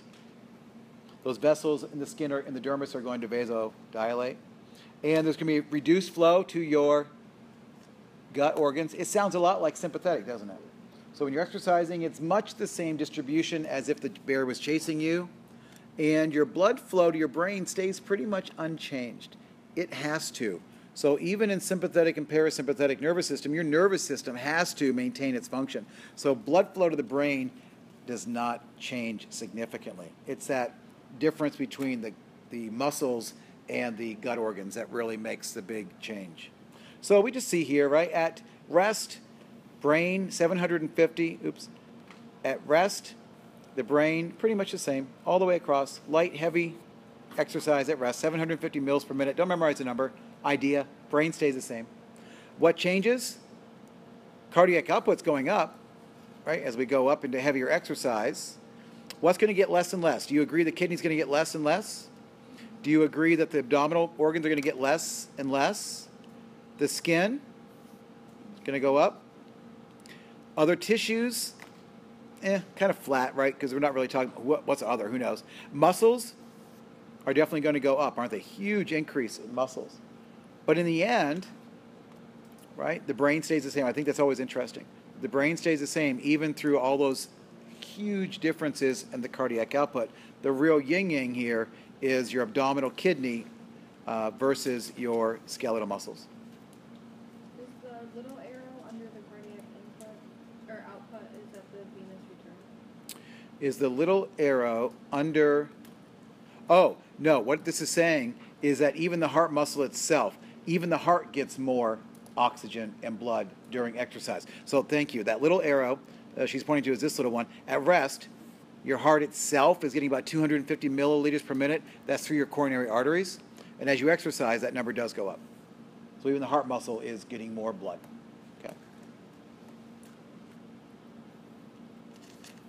And while you are exercising, there are advantages or there are adjustments happening, and trained athletes will have bigger hearts, bigger stroke volumes. That's why you'll hear athletes have what? A lower resting heart rate because their heart is stronger, their heart is more efficient, therefore their stroke volume is higher, and their heart rate does not have to be at as high to accommodate. So most athletes have a resting heart rate lower than couch potatoes. Would that affect blood pressure too? It would affect blood pressure, so blood pressure is usually lower as well. I know I have really, low. Yep, athletes have lower blood pressure. Um, why? Their system is a little bit more healthy. They don't need as much pressure. Their resistance is lower. They don't have the peripheral resistance issues. So yeah, it's it's overall better to have a lower pressure, not horribly low, but lower pressure, lower heart rate. All that's great. So the last thing is what happens when homeostasis fails? In other words, what happens when your blood pressure drops? When would your blood pressure drop? Let's think uh, you're going from bed to standing. What happens in older individuals sometimes when they go from laying down to standing up? They faint, they go, they, they have, they go dizzy. What happens? The body does not respond and the blood pressure does not immediately change such that the brain does not get the oxygen that it needs. Now, in a younger person, all of these compensatory mechanisms are working. So when you go from laying down to rising up, those immediate changes in your blood pressure are made, those adjustments are made, and your brain will get the, the oxygen that it needs. But in an older person, as we start losing this homeostatic mechanism, you'll start having issues with maintaining your blood pressure and maintaining perfusion to the brain when standing quickly. Okay. So that can be a huge issue um, for some individuals. Now, where would the pressure be dropping? If you stand up, you agree your baroreceptors would have lower pressure. And your baroreceptors, if your pressure is dropping to your brain, going up your carotid artery and out your aorta, what does your body normally do? If the barorec- it quickly increases your pressure. But again, in older folks, or if there's any kind of mechanism, any kind of problem with uh, homeostasis, then they just can't make that quick adjustment. So what must we do for these people? Get up more slowly and be more intentional about up and going so that you don't have this rapid change. So, you know, a little older, a little slower. It's not just that their muscles are slower getting up, it's that literally they have to be a little slower so that their blood pressure has an opportunity to change so they don't have a fainting spell. So that's your carotid arteries, your baroreceptors, all that's happening so amazingly fast. And then long term, um, you got hormones like aldosterone and ADH and renin and EPO that we've talked about that are also going to be helping to maintain your blood pressure long term. So if you have a dramatic decrease in your blood pressure, okay, again, we're going to have endocrine and nervous system signals coming in. On a very short term, um, we can have the baroreceptors kicking in. Long term, we have ADH and angiotensin 2, aldosterone, EPO. Those hormones can come in and, and help bring the blood pressure back to normal. What is shock? Finishing up here, what is shock?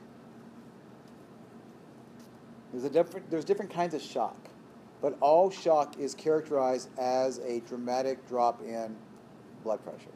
Okay, there's different forms of shock, different things that cause it, shock is a, dra- a rapid drop in blood pressure. We would say you go hypo- hypotensive, right? It's inadequate blood flow to the tissues. Now, the most common would be circulatory shock. This is where um, heart damage, hemorrhaging, something's bleeding out, or you you're dropping in blood pressure very quickly, you're bleeding out, the heart stops, something like that is going to be circulatory shock.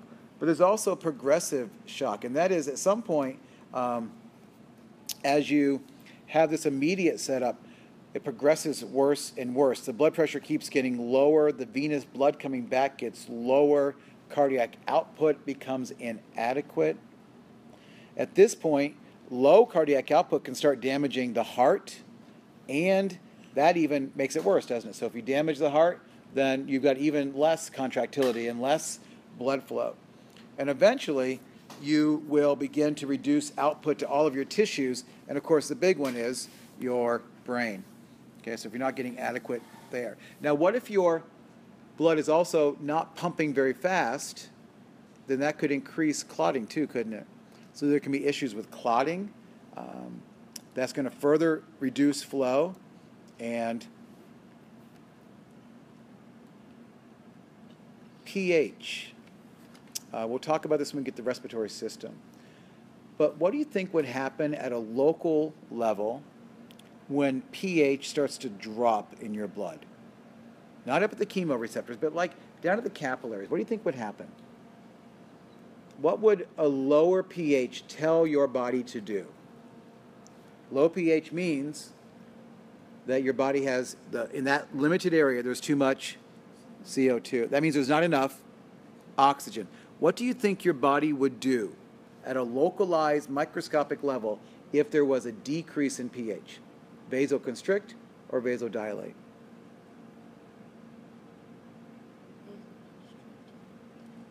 If there's a lack of oxygen, what would your tissues want to do? Increase blood flow or decrease blood flow? Increase, right? So pH is oftentimes has an effect. If the if the localized pH is dropping, then it will cause the tissues to vasodilate. Okay, it'll cause an increase in blood flow, and that will uh, help out. So there can be um, an increase in blood volume, but also a decrease in blood volume based upon pH. And then at some point, this shock um, will start triggering, you know, the baroreceptors will trigger, and that will cause a huge sympathetic surge. Right? If your baroreceptors are not, if your baroreceptors are being um, activated, you're not getting the blood up to your brain. That's going to cause a sympathetic flow. And what's that going to cause? What happens with sympathetic surges? Vasoconstriction, right? And that's going to increase your blood flow to your brain for a short while, but it's going to reduce blood flow to the rest of your body, isn't it? Your brain's going to be making up, taking up extra blood. And at some point, the body just can't keep making these adjustments. And so at this point, uh, you can go into an irreversible situation where you go into circulatory collapse. The body can no longer do this. Um, and this is going to lead to widespread vasodilation.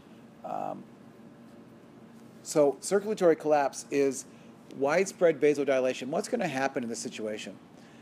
This happens in um, some. and we had micro yet? A few people had micro.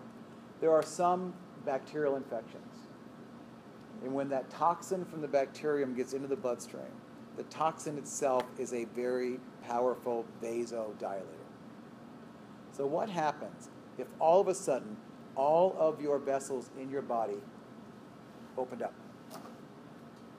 Blood pressure is going to go, boom, drop. That'd be another kind of shock, right? Blood pressure drops immediately.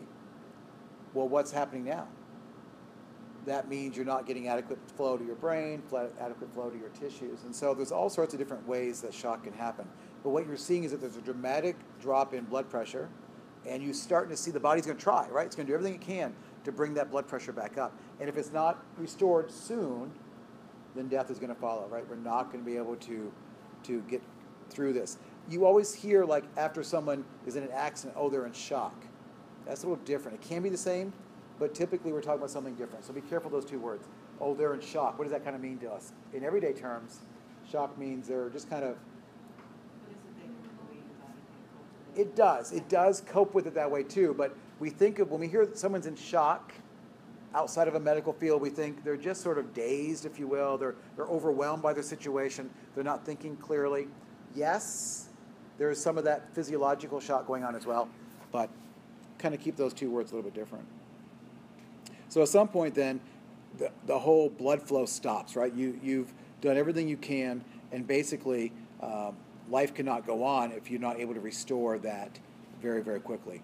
So you see there's a drop in blood pressure, drop in blood volume. That decreases cardiac output. That itself can decrease flow and damage the heart, which even makes it worse. That's a what kind of feedback loop is that? When it starts to get bad, it gets even worse. That's a positive feedback, isn't it? So in a low pressure situation, as cardiac output drops, and the heart is actually getting damaged, it's getting worse and worse and worse. That'd be an example of a positive feedback loop. And then the body just keeps trying everything it can to increase blood flow. And at some point, you've constricted everything you possibly can. You've got now irreversible cardiac muscle damage. And at some point, on the bottom, right, death, circulatory collapse and death. So that brings us to the end of cardiovascular. I, have got 20 minutes, and so I want to spend a few minutes just kind of reviewing anything and everything that you're concerned about. Is there anything, let's start with that blood chart. Let's go back to blood. Is there anything on that blood handout? If you don't have one, I did post them and I have some extras hanging outside my office upstairs. And again, you will see that exact image on the exam, and there are 30 questions coming from this. So you need to be able to name all those cells, tell me their ranges, tell me what they're uniquely treat, you know, what they're uniquely designed to do, eosinophils, parasites, neutrophils, bacteria. Um, you need to be able to tell me their relative size and their numbers.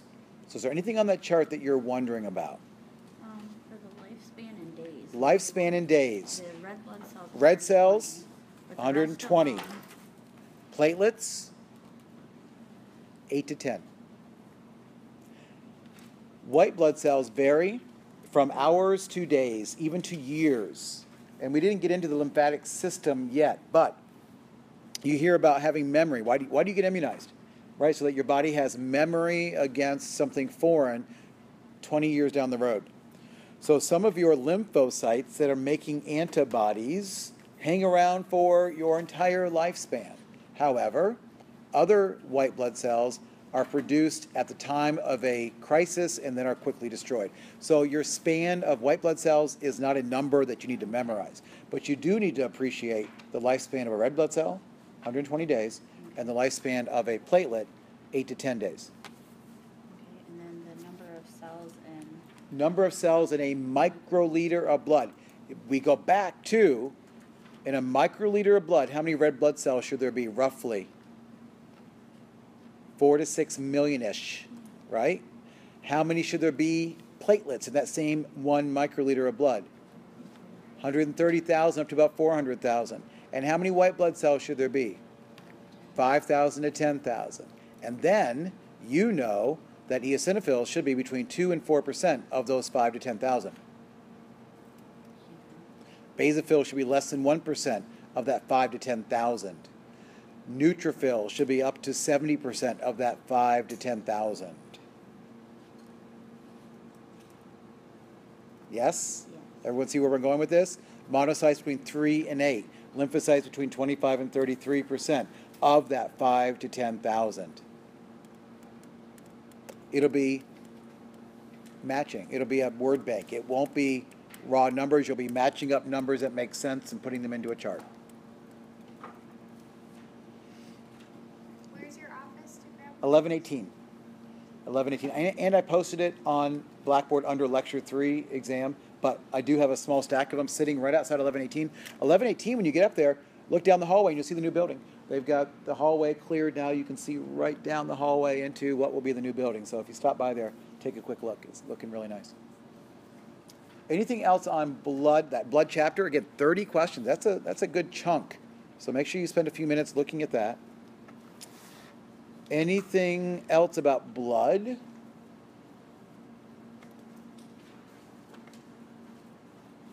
Make sure you know the features of white cells and red cells and platelets. Anything about muscle, skeletal muscle?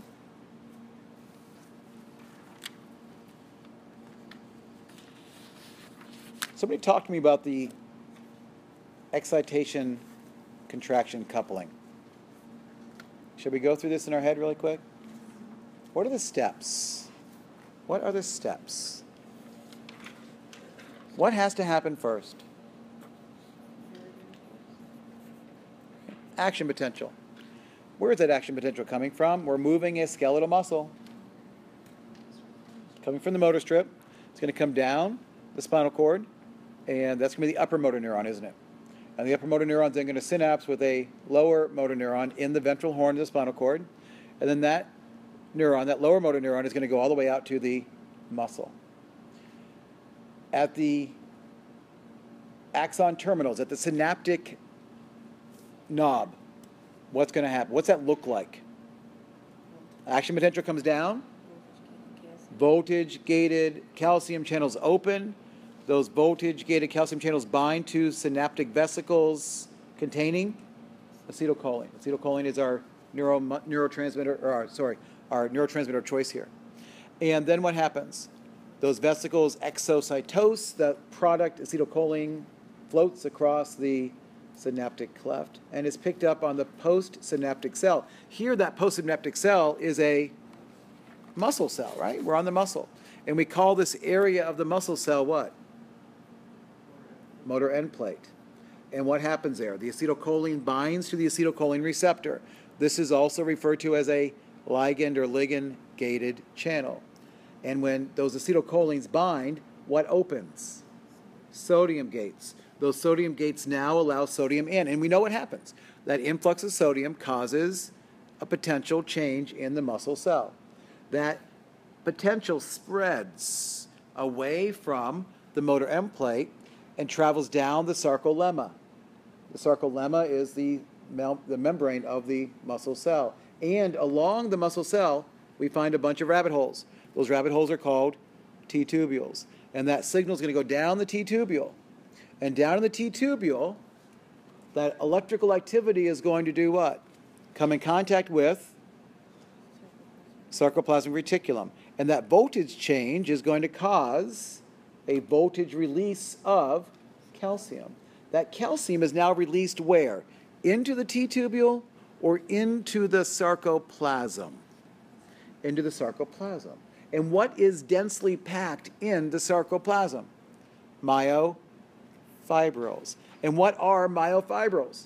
Long chains of sarcomeres, which mean they're long chains of actins and myosins. So, what does that calcium do? As long as there's an action potential coming down, and as long as there's acetylcholine opening up the sodium channel, and as long as that is continuing, that calcium is going to be binding to troponin. Troponin is one of the little proteins that's part of the thin filament. Remember the thin filament? It's not just actin, it's also tropomyosin, that rope around the actin, as well as some little snowman looking molecules. Those are the troponins. So the calcium binds to that troponin. And as a result of it binding to troponin, what happens? It causes a conformational shift, and tropomyosin then shifts out of the way. When tropomyosin shifts, what is it exposing? The acting, the actin binding site for myosin. So now myosin and actin can hang out together. Now, where's the next story go? That is the ex, that's the excitation, right? The ex, that's the excitation part. The excitable signal has come down and caused something to happen in the muscle. But now we have a contraction. What's going on with the contraction? Where does ATP fit into the story? ATP binds, but ATP is necessary for the actins and myosins to dissociate, to release. And then it cocks, and then it binds, right? And then it, so you've got that story down. And then what happens when the action potential is no longer being sent? When you stop telling your muscle to contract, kind of erase everything. So what has to happen? At the muscle, what must happen? The calcium must come off the troponin. When the calcium comes off the troponin, tropomyosin flips back and no longer allows actin and myosin to bind. So you've stopped the whole sliding filament thing going on. That calcium is then quickly sequestered back. It's quickly sucked back up into the sarcoplasmic reticulum. And that means what? That what else is going on at the synaptic cleft? Acetylcholinesterase is also helping to minimize this by breaking down acetylcholine. So you've got a lot of things going on so that this happens so fast, so that you can move your finger up and down very quickly. You have to think, okay, relax, you know, contract, relax, relax, contract. It's amazing. I can't even say it fast enough. How fast this whole thing happens. But you should be able to kind of walk through that story in your head. And if you're having trouble with that, there are definitely some videos. If you go into the study area of mastering and go to AP Flix, I know you watch those movies either in class with me and or as part of your homework assignments. But if you need to hear the woman say it one more time and go through this thing, watch a couple videos. Go to the AP Flix, it's under lab, and there are those nicely done videos that go through this step by step. You need, again, to be able to kind of picture that contraction cycling as well as picture the whole EKG, pumping of the heart, blood, ventricular D, and repolarization story. And if you've got that as a little video playing in your head, you'll be able to answer a lot of questions. A lot, a lot of questions. Anything else about the muscle? Anything else about muscle? I went through, you know, summation, tetanus, all those things. Anything else in that conversation? What energy source do muscles use immediately? Skeletal muscle. For just a couple seconds, they have enough ATP, right? But the ATP is very quickly burned up because the body does not store ATP. We do not store ATP anywhere. We make it constantly as needed. To make extra would be a waste. And once that ATP is gone, then what do we use as a muscle source for energy? Yep, CP. We go to creatine phosphate, and then that allowed that that gives the body time to kind of get caught up, and then by that point, your respiration rate's increased and your oxygen flow is increasing to your muscles, and then you can keep going for a while. But at some point, depending upon your level of training, what's going to happen? There won't be enough local oxygen, and the pH will start to drop because what builds up? With, not, with no oxygen, the mitochondria can't make ATP at sufficient levels. And in anaerobic, what is made? Lactic acid. And that lactic acid now causes a decrease in the pH. And what does that decrease in pH do? Yes, that's the muscle burn, that's your fatigue, but it actually, that low pH actually starts to interfere with the ability of actins and myosins to contract. It also um, um, slows down the entire signal, right? So the muscles get slower and more fatigued and no longer can contract as forcefully because of that low pH. So that that that low pH, that lactic acid burn is not only a sign that your bodies are in an anaerobic state, but also that fatigue is coming. Anything else in that story of the skeletal muscle?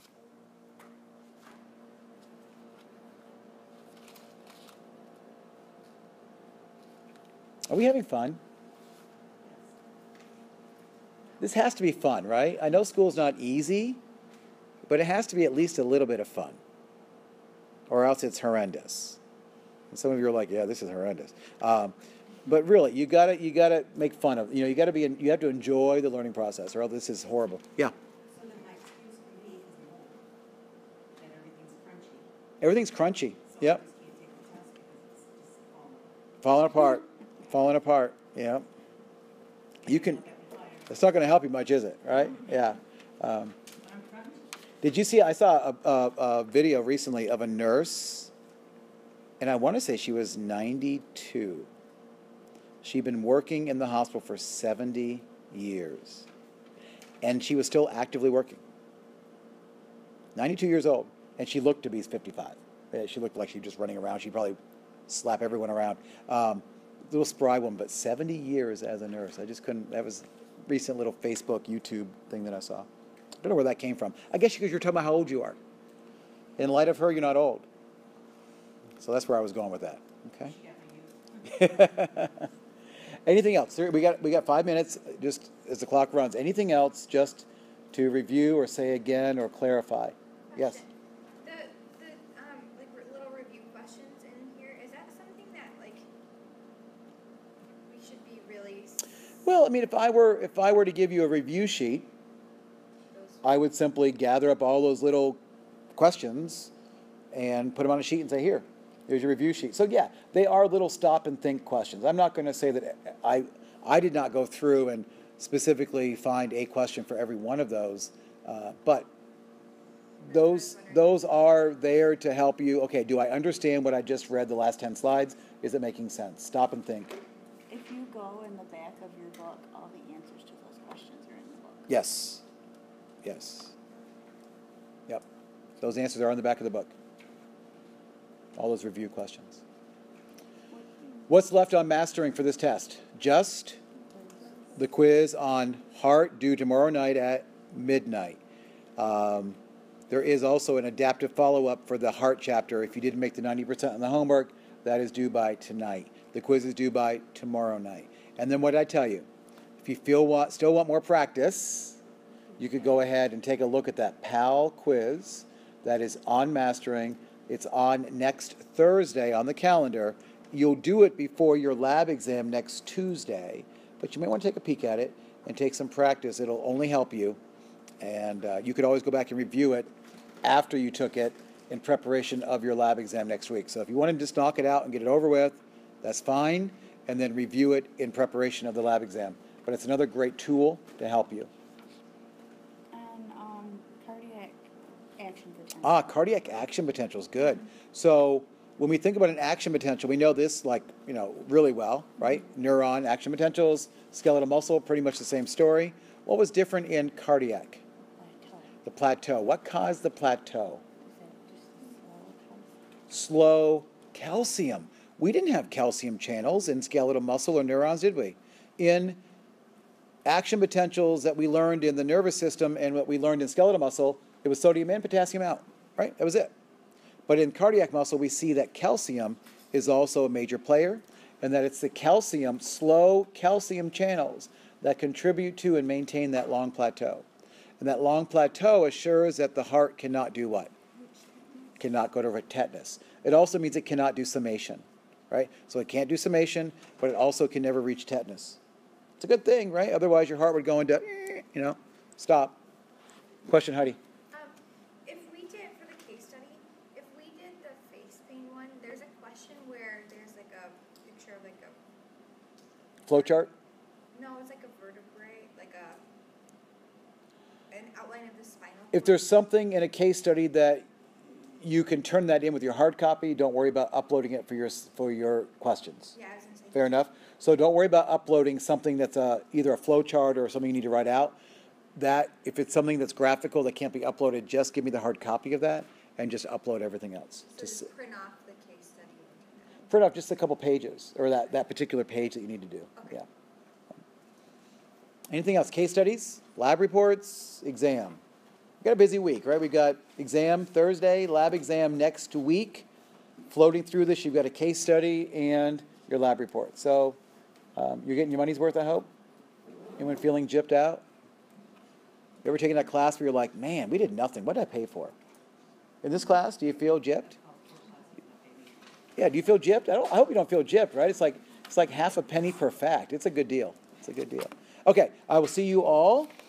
Some of you tonight, all of you on Thursday. Those in hybrid, I'll see you on Thursday in lab.